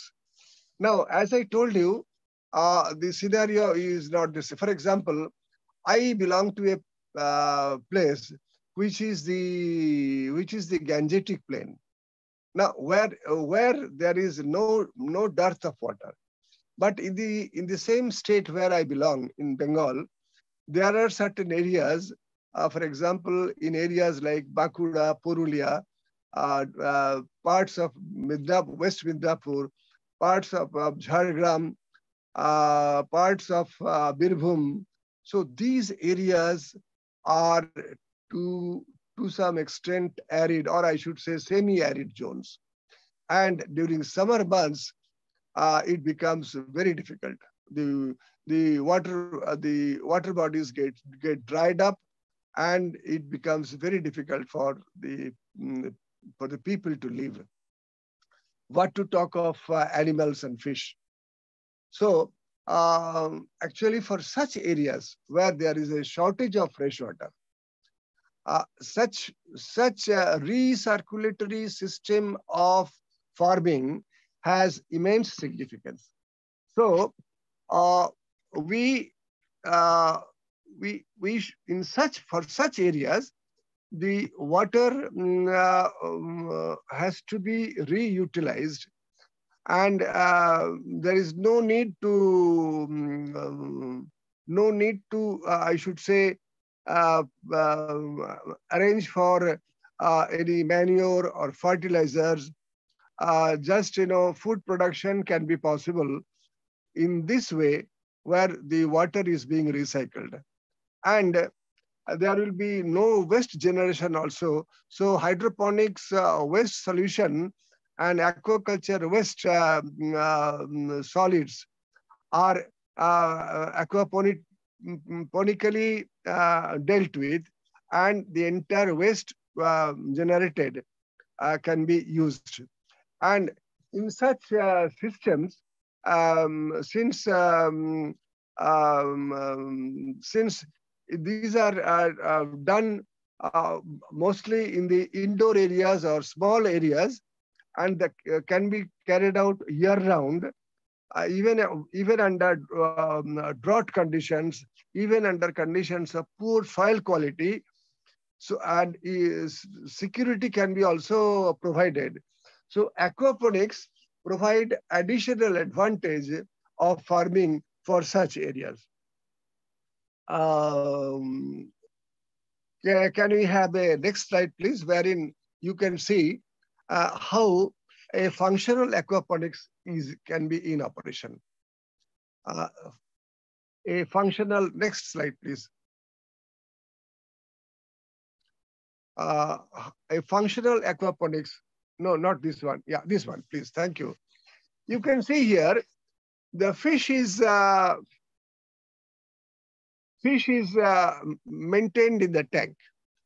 Fish is maintained in the tank, as I told you, the released ammonia from the fish is uh, gradually converted to nitrite and then nitrate, nitrate by, via bacterial action. And this is then uh, air, with the help of air pump, uh, um, um, this is transferred to a place where the plants are reared. These plants, as, we, as I told you, they absorb the nitrates and grow, while the roots clean the, uh, clean the water for fish to reuse, for fish to reuse. And once, uh, once this is done, then this is again pumped back into, into, into the um, aquatic system. So water is utilized uh, both by the fish as well as by the plants. But remember, in such a system, you cannot grow, grow the large plants. Uh, you cannot grow the large plants. Uh, at least uh, with the present uh, setup, it has not been possible. Now you can see the system has been um, shown in, in, a, in, a, in a diagrammatically how these uh, aquaponics function uh, in, a, in, a, system. Now, in in the in the in, an, in the university uh, here in Kolkata, uh, under the project, next one, please. Can we have this next slide? Uh, these aquaponics, no, this previous, the previous one.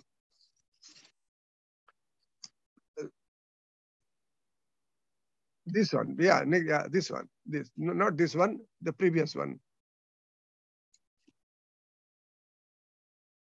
Not this one, uh, madam.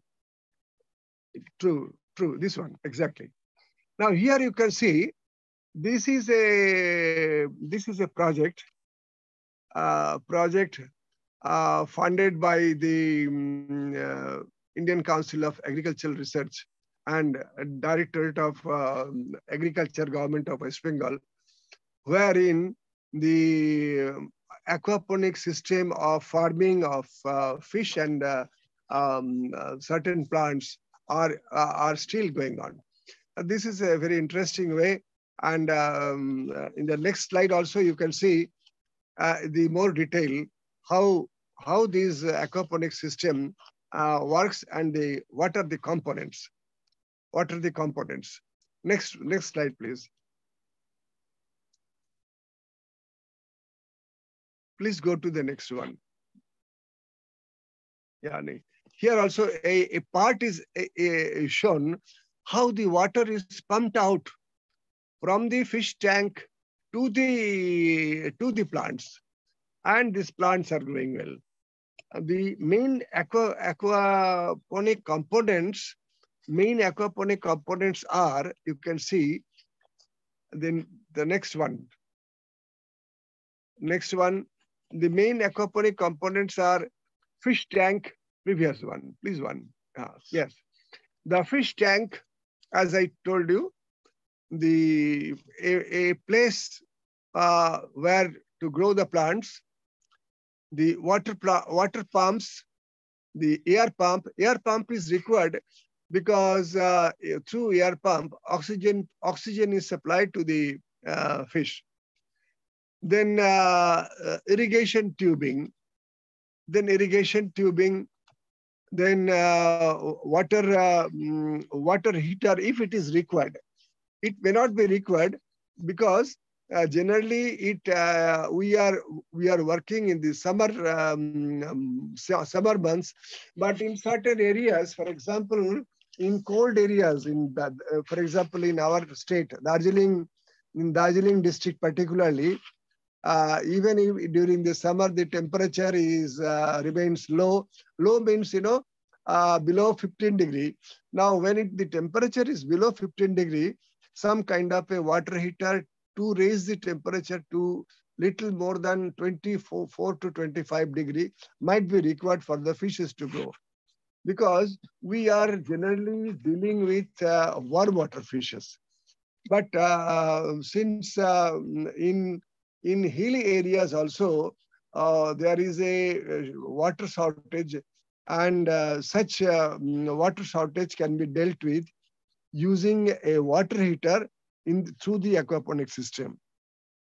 Sometimes a light is also required, uh, a light source, light source. But again, that is that is optional, because as I as you can know that you know uh, when when there will be um, there will be less sunlight, uh, photosynthesis photosynthetic activity will be disturbed. A light source might be required. Besides this, the, the fish species and the plant species can be um, are, are essentials. So these are the simple aquaponic components that you need. Next one. The no, no uh, this one. Thank you. The the common the fishes are in plenty. Uh, we generally use um, uh, species like carps these carps are uh, quite popular and um, three major carps, three major Indian carps, uh, what we call Katla, Rohu, uh, uh, Mrigal, uh, Kalbashu, Bata are like that. These are very common fishes and very high domestic demand, particularly in the eastern, eastern India. For the rest of India, the fishes can be can differ. But uh, if you think of the eastern Indian states, uh, eastern as well as northeastern, northeastern states, you will find that um, carps are very popular. So uh, in through aquaponics uh, system, we generally use uh, the carp species uh, here for the um, for for most of the time. I, I have shown you the uh, particular species of carps. These are all rohu, Labeo rohita. This can be grown very well. Uh, next, next one. Next one, please. Now here, this is a very, um, uh, this slide is uh, a little bit interesting, might be for you. Um, the growing of fish is uh, very much uh, required very much required. Fish consumption also is uh, increasing everywhere. And people are realizing the uh, health benefit of uh, fish, fish consumption. Then fish, uh, there can be different other fishes like ornamental fishes, which can be used as a cash crop. So first, fish in human nutrition as a health food Second, as a cash crop in the form of ornamental colored fishes, which many people uh, maintain at home and sometimes in the office also. Fish as an animal feed component, that also is very important. Some in animal feed, when some, some of the fishes, uh, some of the trash fishes, some of the, um, uh, some of the um, uh, um, uh, prawn species, prawn species, uh, these can be um, dried and used as a fish meal. Fish, particularly now, fish now is utilized as a model for biomedical research. And most of you might have heard of zebrafish. Zebrafish genes and uh, human genes are to a great extent similar. See, we we maintain lot of pets. We have you know we have dogs, pet animals. We have cats. We have many. We have birds. But you know they are so good, so nice to us. They love us. We also love to maintain them. But if you consider uh, gene-wise similarity, you will not find much similarity with a with a pet dog or a pet cat with uh, with humans. So um, in, in that sense, zebra fish has lots of similarity. Then fish has in sports and recreation. Now the sport fisheries also are becoming very important. In my state, uh, in Darjeeling district, a lot of um, sport fisheries are coming up. In with regard to sport fisheries, um, uh, Himachal Pradesh and then uh, Uttar, parts of Uttar Pradesh and um, uh, Uttarakhand, they are they are leading in sport fisheries.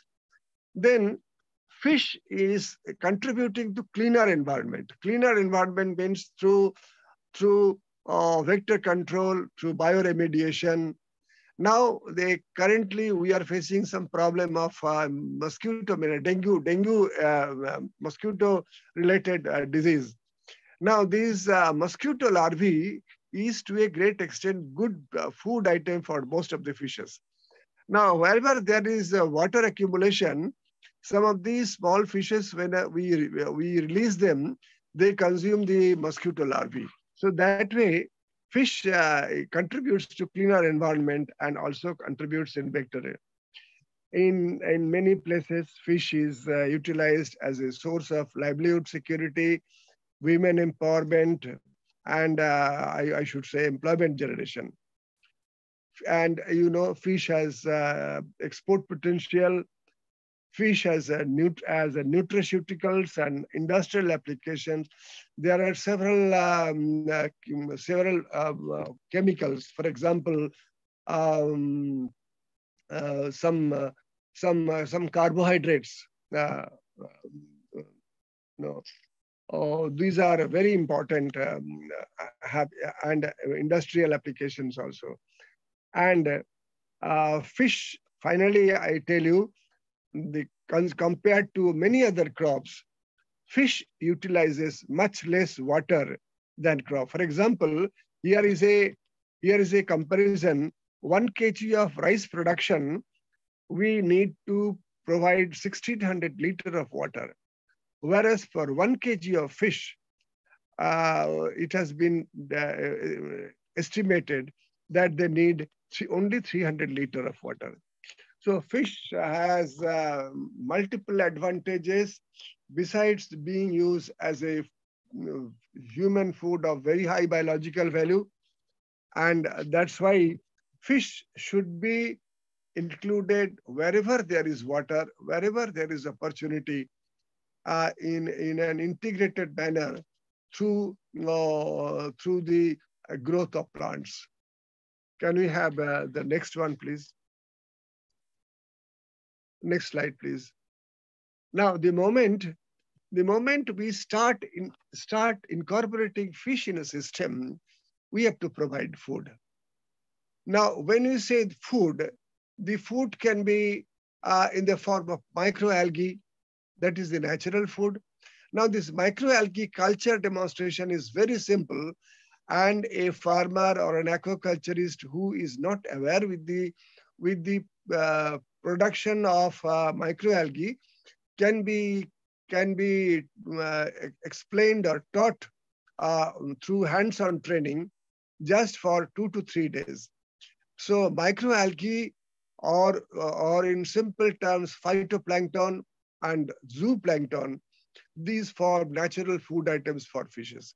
Now, yeah, these can be produced in situ. Um, I mean, where there is aquaponic system is being uh, continued, side by side we can grow uh, microalgae and these microalgae can be provided as a food. Now, over and above these um, uh, tasks, the next slide will show you how the, the along with uh, microalgae, uh, along with microalgae, next one, please. Along with microalgae, the very preferred food item of fish, like uh, zooplankton, or yeah, this, yeah, so this zooplankton can be uh, mm, can be reared. Now, the zooplankton, there are there are uh, quite a large number of uh, zooplankton species, but it has been seen that most fish species uh, prefer a particular zooplankton called rotifer. now, rotifer can be again cultured, as I uh, told you, yeah, in, like um, microalgae. Now, rotifer needs a food. Now, for culturing rotifer, we have to do uh, the culture of food for rotifer. Now, that culture of food for rotifer, for example, is chlorella. Chlorella is a preferred food item for rotifer. Now, simultaneously in a system, we can grow chlorella and this chlorella can be provided to rotifers and there will be rotifer growth. And these rotifer in turn can be periodically provided to the fish which is grown in the aquaponic system. Next one, please. I told you about uh, microalgae culture. So this is just a system uh, showing you how microalgae uh, culture can be done. And over and above microalgae culture, uh, which, which is not uh, sufficient. For example, for a human baby, uh, for a human baby, mother's milk is essential.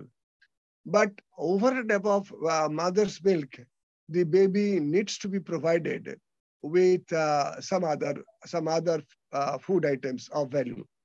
Now, these can you have a next next slide, please?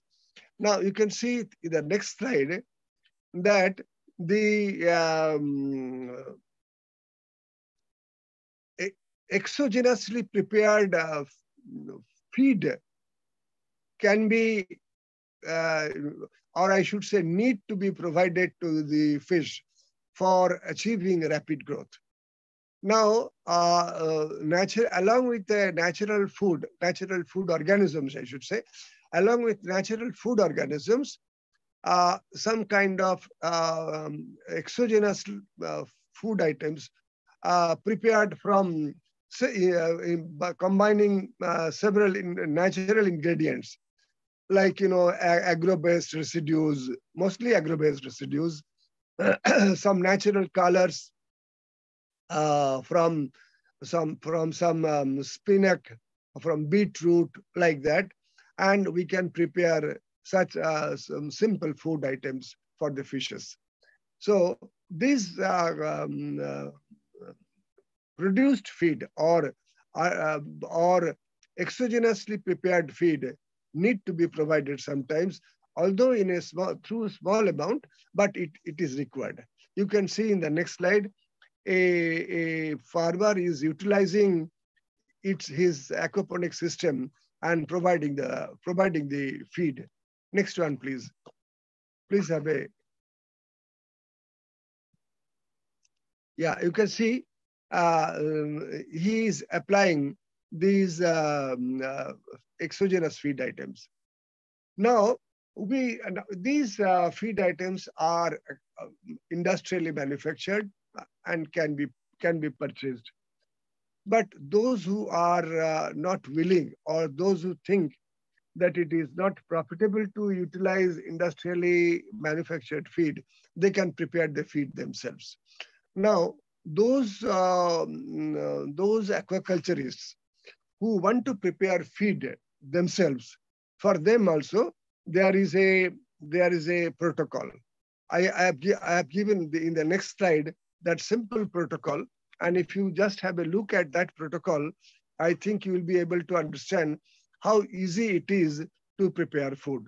It is just like, you know, preparing our own food at the kitchen instead of uh, uh, ordering it through restaurants or uh, hotels.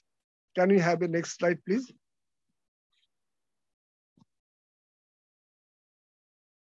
Here you can see, this is the, uh, am I audible, uh, my, my dear friends?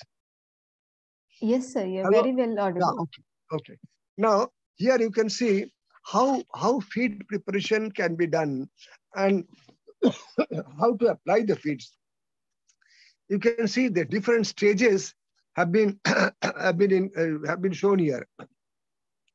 Whatever ingredients are used, the first thing that we should do is to grind them to uh, mm, to um, mm, small powder to powders.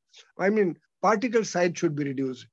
Just like you know, in as atta chakki, we can use um, pulverizers to prepare the uh, powdered form of the ingredients. These ingredients can be groundnut uh, oil cake. These ingredients can be rice polish. These ingredients can be um, corn. These ingredients can be many other things, uh, soybean powder, uh, like that. There are many. But whatever it is, along with this, we need to provide certain micronutrients to be added to these. And once this is done, we prepare the moist dough balls and with the help of simple uh, hand pelletizer or motor operated pelletizer, we prepared uh, chow mein type, uh, chow mein type or the globular type of food. Uh, food. And once this uh, chow mein type or the shimai type of or the globular type of feed is uh, or complex type of feed, that is floating type. Now this those floating type, slow sinking types and sinking types, these because we provide uh, uh, feeds of different different types. Since in a in, a, in an aquaculture system, the fishes uh, can be surface feeders, fishes can be column feeders, fishes can be bottom feeders. Some fishes dwell in the bottoms. They hardly come to the surface. So the same feed in different forms. Some are floating, some are slow sinking, some can be sinking. The, this way, we can prepare the feed, sun dry them, pack them, and store them properly and, uh, and uh, provide them. So these are some of the simple uh, procedures of maintaining the fish in the aquaponic system. Next one, please. Now, once we, once we do this, once we do this, we need to monitor the water quality continuously. Now, when I say water quality, I will, I will particularly emphasize on two, three parameters.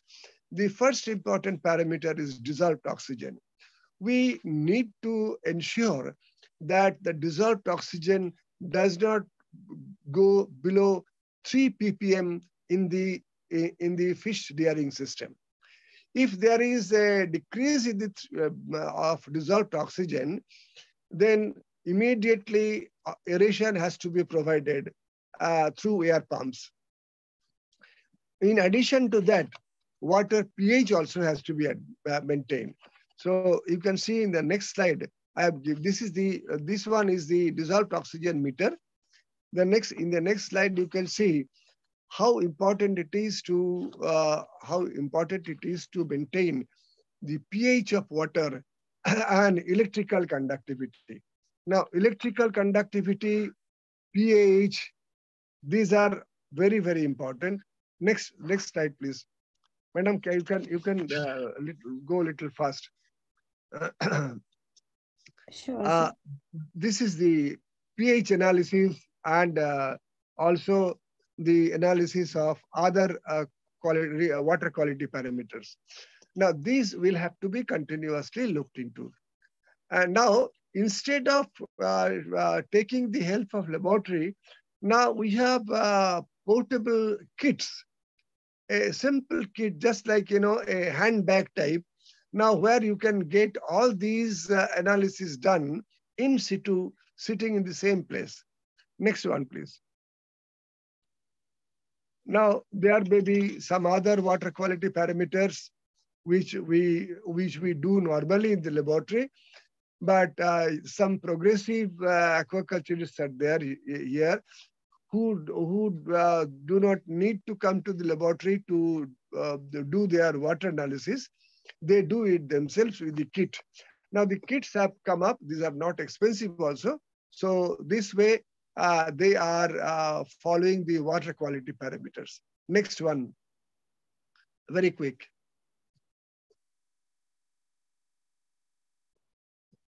Now, uh, it is important that uh, we should also uh, uh, know, since we are providing the natural food in the form of um, uh, microalgae or phytoplankton, then zooplankton, we should see that there is not much deposit in the, in, in the bottom. The moment there will be more deposit in the bottom, there may be putrefaction, there may be bacterial growth, there may be uh, chances of uh, bacterial contamination, there may be possibility of disease. Now, we should ensure that there is no residual accumulation in the fish rearing system. So in for that, we use a simple uh, glassware called Imhoff cone. This, this is called Imhoff cone. When the through Imhoff cone, when we find that the deposit is not much, we, we, we feel mm, secured. But sometimes the deposits also are, are very high. You can see the next slide. In the next slide, we'll find the deposit is very high. Now, when the deposit is very high, which means uh, either the system is not being taken care of or feed is uh, provided more than it's required, feed is not provided in time, feed is not provided uh, in the right frequency. Uh, so uh, feed has to be provided at the right time when the fish is hungry or when fish needs it, not when we have time. When fish needs it, we have to provide the, provide the feed. Now, uh, when uh, when we are we become little insincere to, on these parameters. For example, uh, for each animal, for each human being, uh, there is a um, uh, there is a feeding frequency. There is a um, uh, what I should say a, a, natural biological clock works in our system when we feel hungry, and uh, feed provided uh, during that particular time only will be absorbed very fast. So these are some of the very basic principles which we should um, um, we should note. Next one, please. Now, over and above these, there are quite a few things. Next one, kindly, uh, kindly pass on to the next one. Now, over and above these, so, some of the small items, uh, like you know, hand nets, now some um, filters, uh, oxygenation um, uh, items, these need to be these need to be uh, kept uh, as a standby uh, standby facility. Now these are just shown, uh, you know, in the form of a drawing that this should be this should be also kept ready while carrying on the aquaponic system.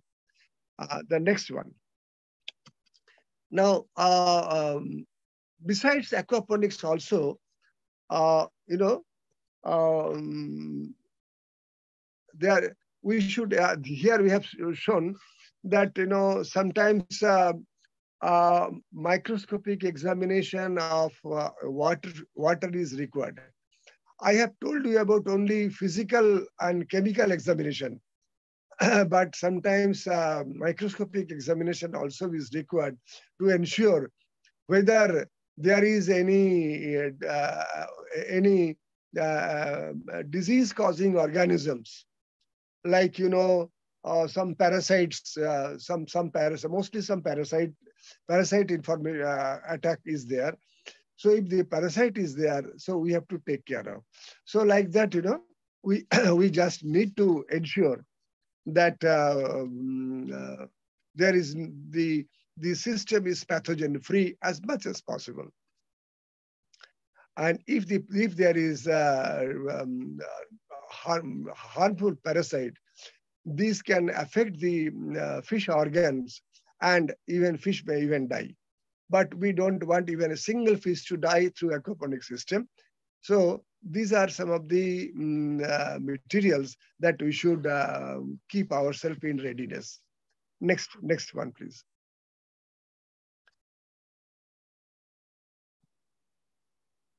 Uh, see, these are the uh, some of the plants that uh, that grow. These plants that grow, uh, like you know, these uh, coriander leaves, which is very easy easy to grow.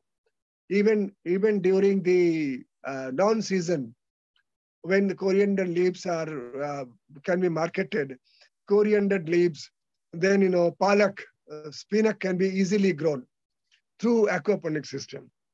then, you know, mint leaves also, you can see the next one. The mint leaves can be easily, easily uh, uh, reared.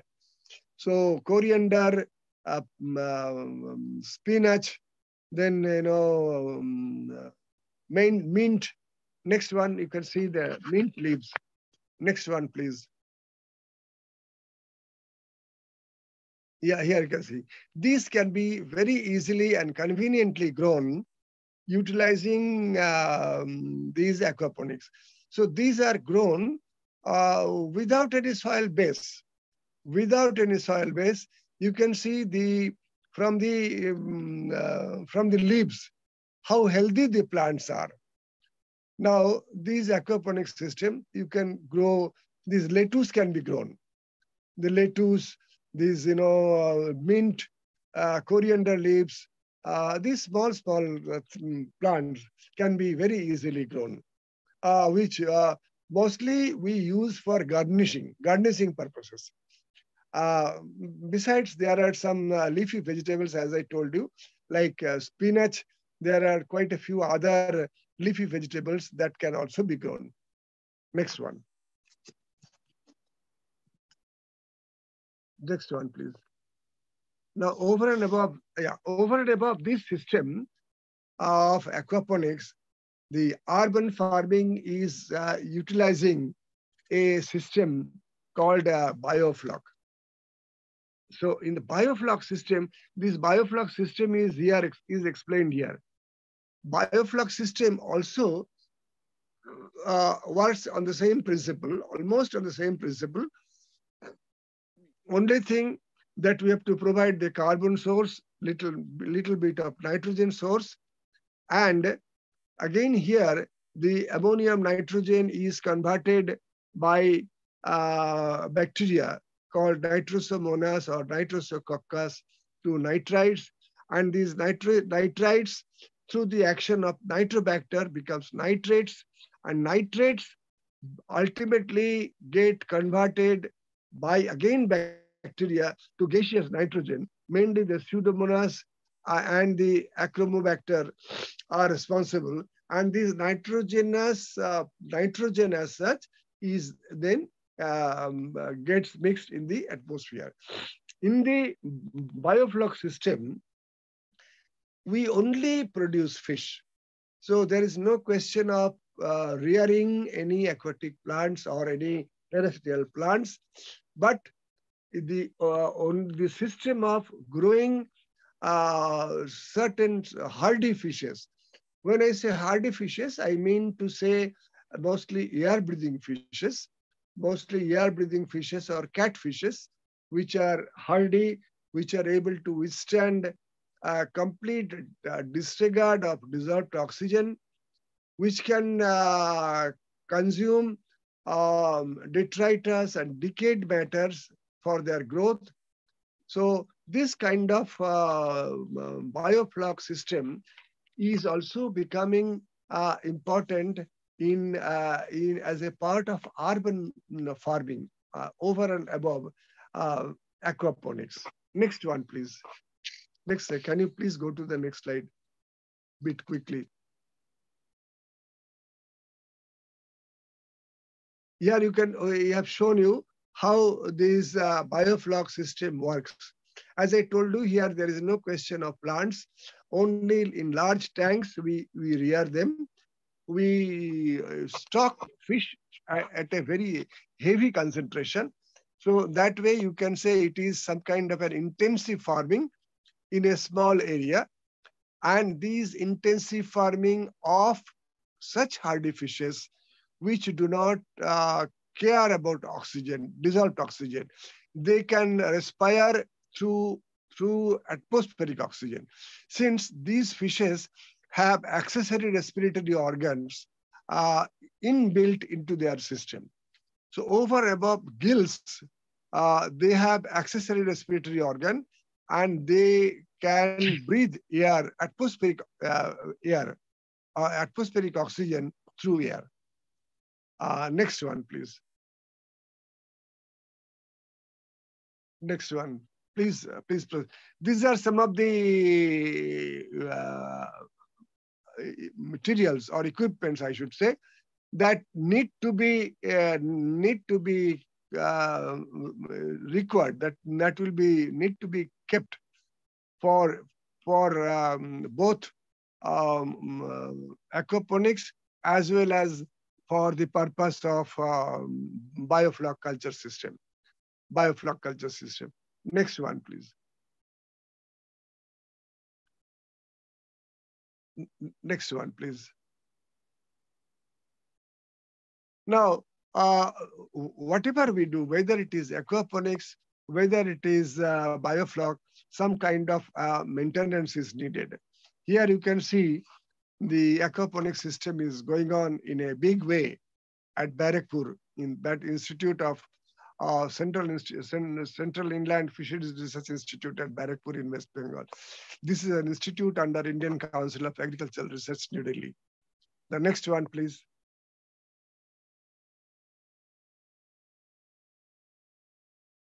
Now, uh, here we are just uh, making a comparison of water use in different system.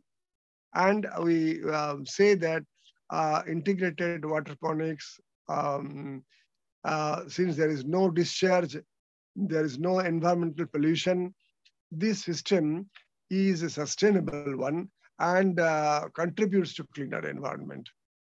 Um, and uh, you can see the next one, please.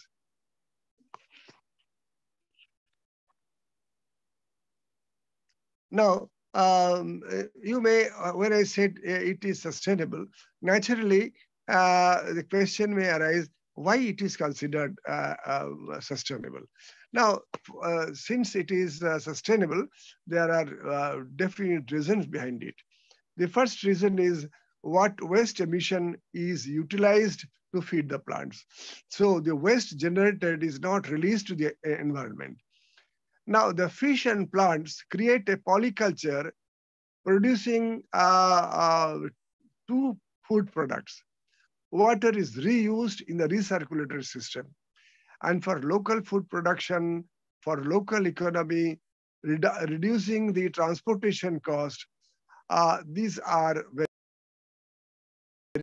say this is also a form of, of organic uh, type of production system where uh, there is no, uh, no contamination of, of harmful chemicals or pesticidal components uh, um, in this uh, production system. So since these are happening, I, I, I must say that both these systems are uh, sustainable in the real sense of the term. Next one.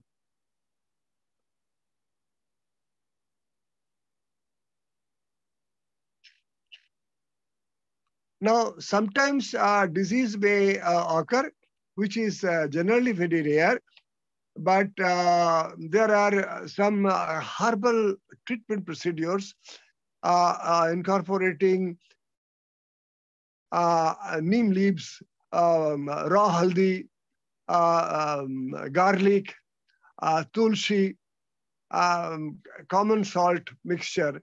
And these are uh, some of the materials which uh, have been developed by the uh, farmers uh, themselves. You can call them these as the first traditional knowledge. So uh, utilizing this traditional knowledge, they are able to take care of the disease problems in case there is any. Next one.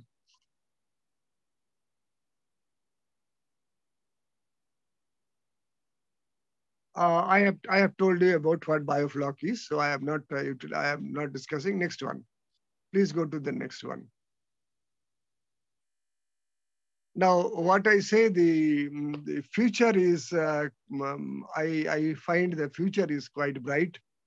And um, um, the production cost will gradually go down.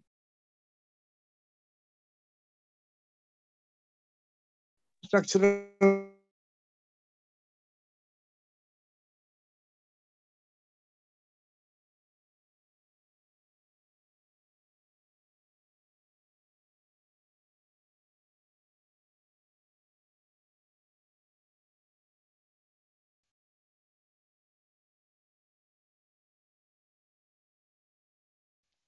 consumption of human food of very high, high biological value uh, at locations where fresh water is becoming uh, scarce. Uh, with this, I uh, wish to conclude and would be happy to uh, answer any questions that you may be having. Thank you very much. Yes, sir. Yes, sir. Uh, thank you so much, sir, for such a wonderful and insightful session. Without any doubt, our participants must have enjoyed and learned from this session. So you explained the concepts very beautifully and scientifically. Uh, this resilient farming system, which is environmental friendly, can definitely prove a sustainable method to secure our food as well as nutrition. Uh, this technique of farm-made feed preparation for the culture pond and water use in different systems are also were actually very simplified very well. So, so on the behalf of team, team Just Agriculture and our participants, I thank you once again. Uh, with your permission now, I would like to ask a few questions that our participants has asked. Please, please. Yes, sir. So, uh, like uh, there are some entrepreneurs as well in this meeting. So, someone Okay. has someone is concerned about the common problems in aqua, aquaponics. Like, so, Okay. uh, so what do you think? With, which are the common problems that are associated with this technique?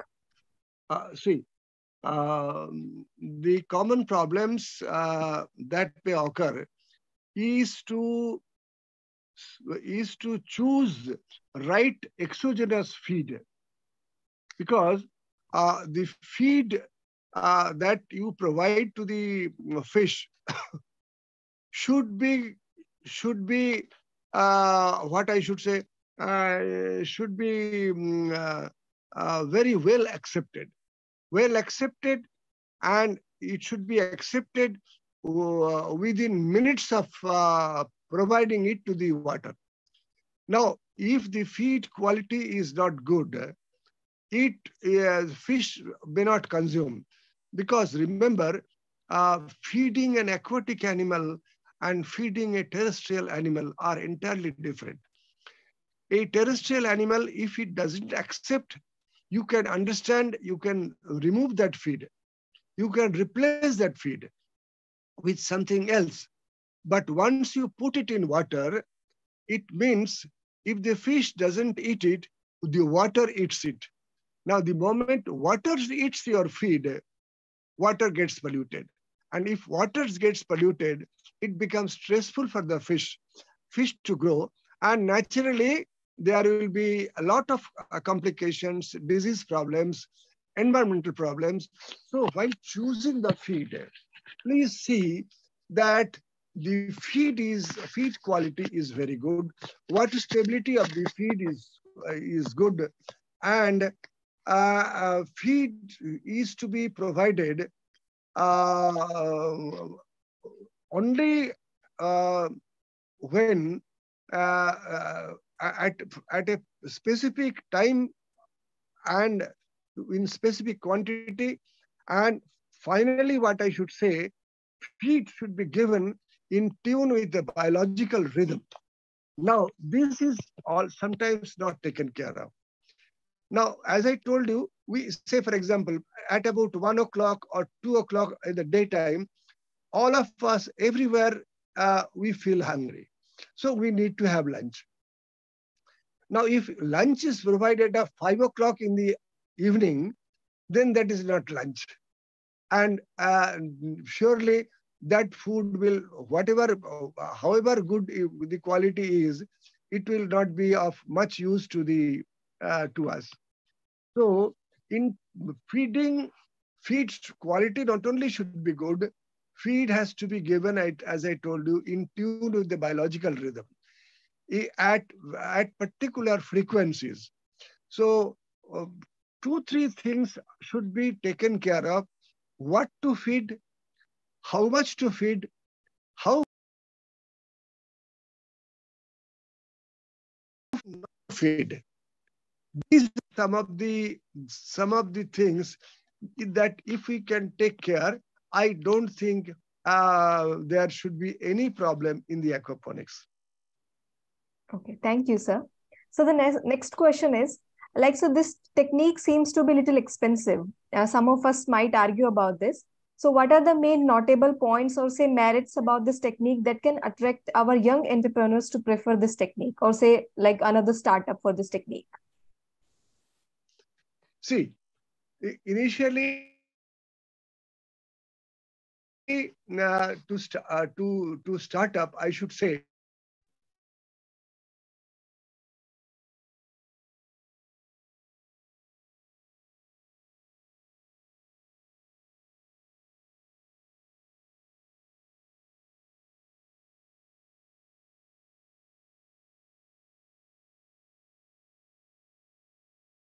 even you know and the fiberglass tanks can be can be used. Maybe if, if, if someone tries with six fiberglass tanks where the fish can be reared. And some fiber uh, um,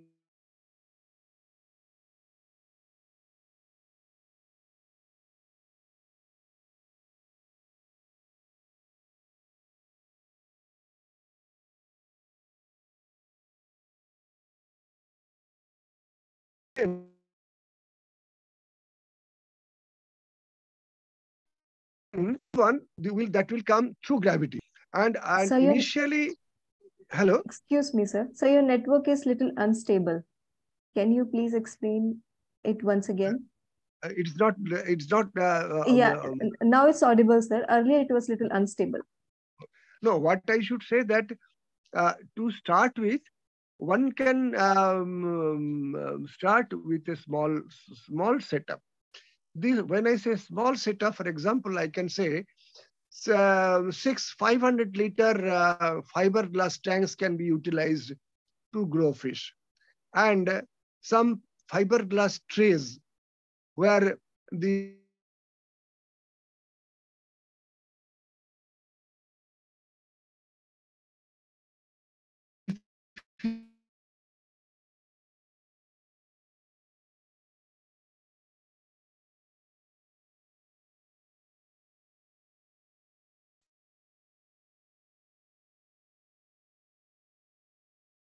plant grow, this water will come back through gravity. So just by regulating uh, a valve, it, the water can be taken up.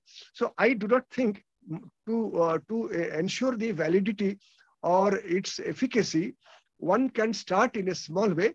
And uh, mm, uh, I think you know if anyone can um, like to contact me, my WhatsApp number and mail ID also are given I can I can send them to some other related information which they can study through. And there are lots of um, um, um, international publications and methodologies also given. So just ha have a study and try. Yes, sir. Yes, sir. So the next question is coming, uh, which is like whether waste from aquaponics can be used for earthworm rearing also. Like somebody is curious and asking about this also, sir. Hello. Can you hear hear me, sir? Hello.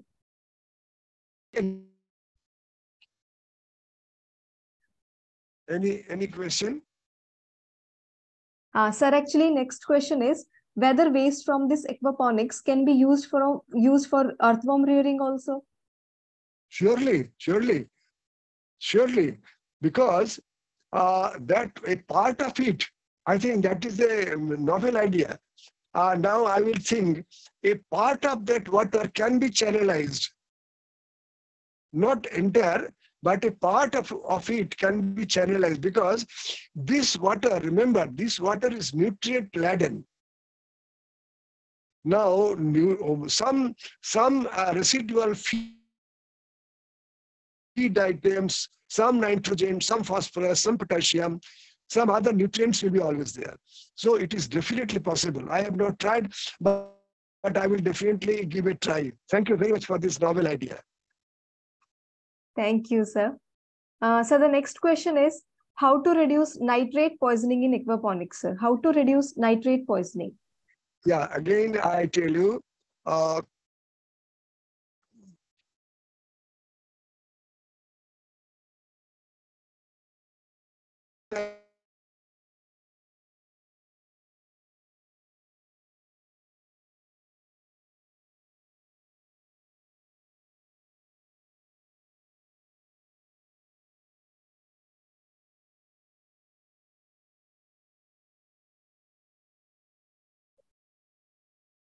that way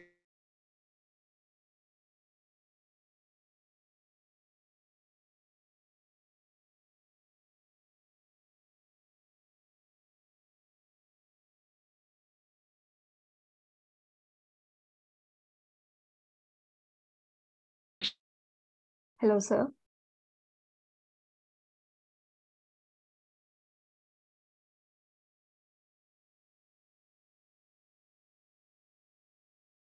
So please unmute yourself. So you are mute. Please unmute yourself. Yeah. Yeah. Am I audible now, madam? Yeah, yeah yes, sir, you're audible. Yeah. You know, what I mean to say, uh, the um, feeding, uh, right feeding strategy is very important to reduce the expenditure, to reduce the pollution load, uh, to uh, to ensure that the eh, aquatic environment is stress free. So, right feeding strategy, not only the quality of the feed, the right feeding strategy, including emphasis on more and more use of natural food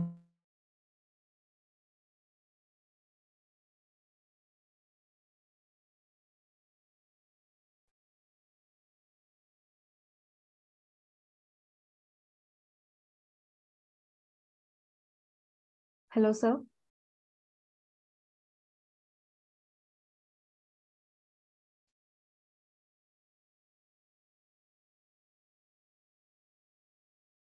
Am I audible now, madam?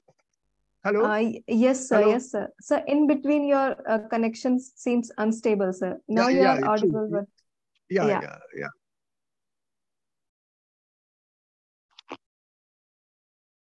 So can we uh, uh, can we try to communicate through mail for the rest of the questions, sir? Surely, surely.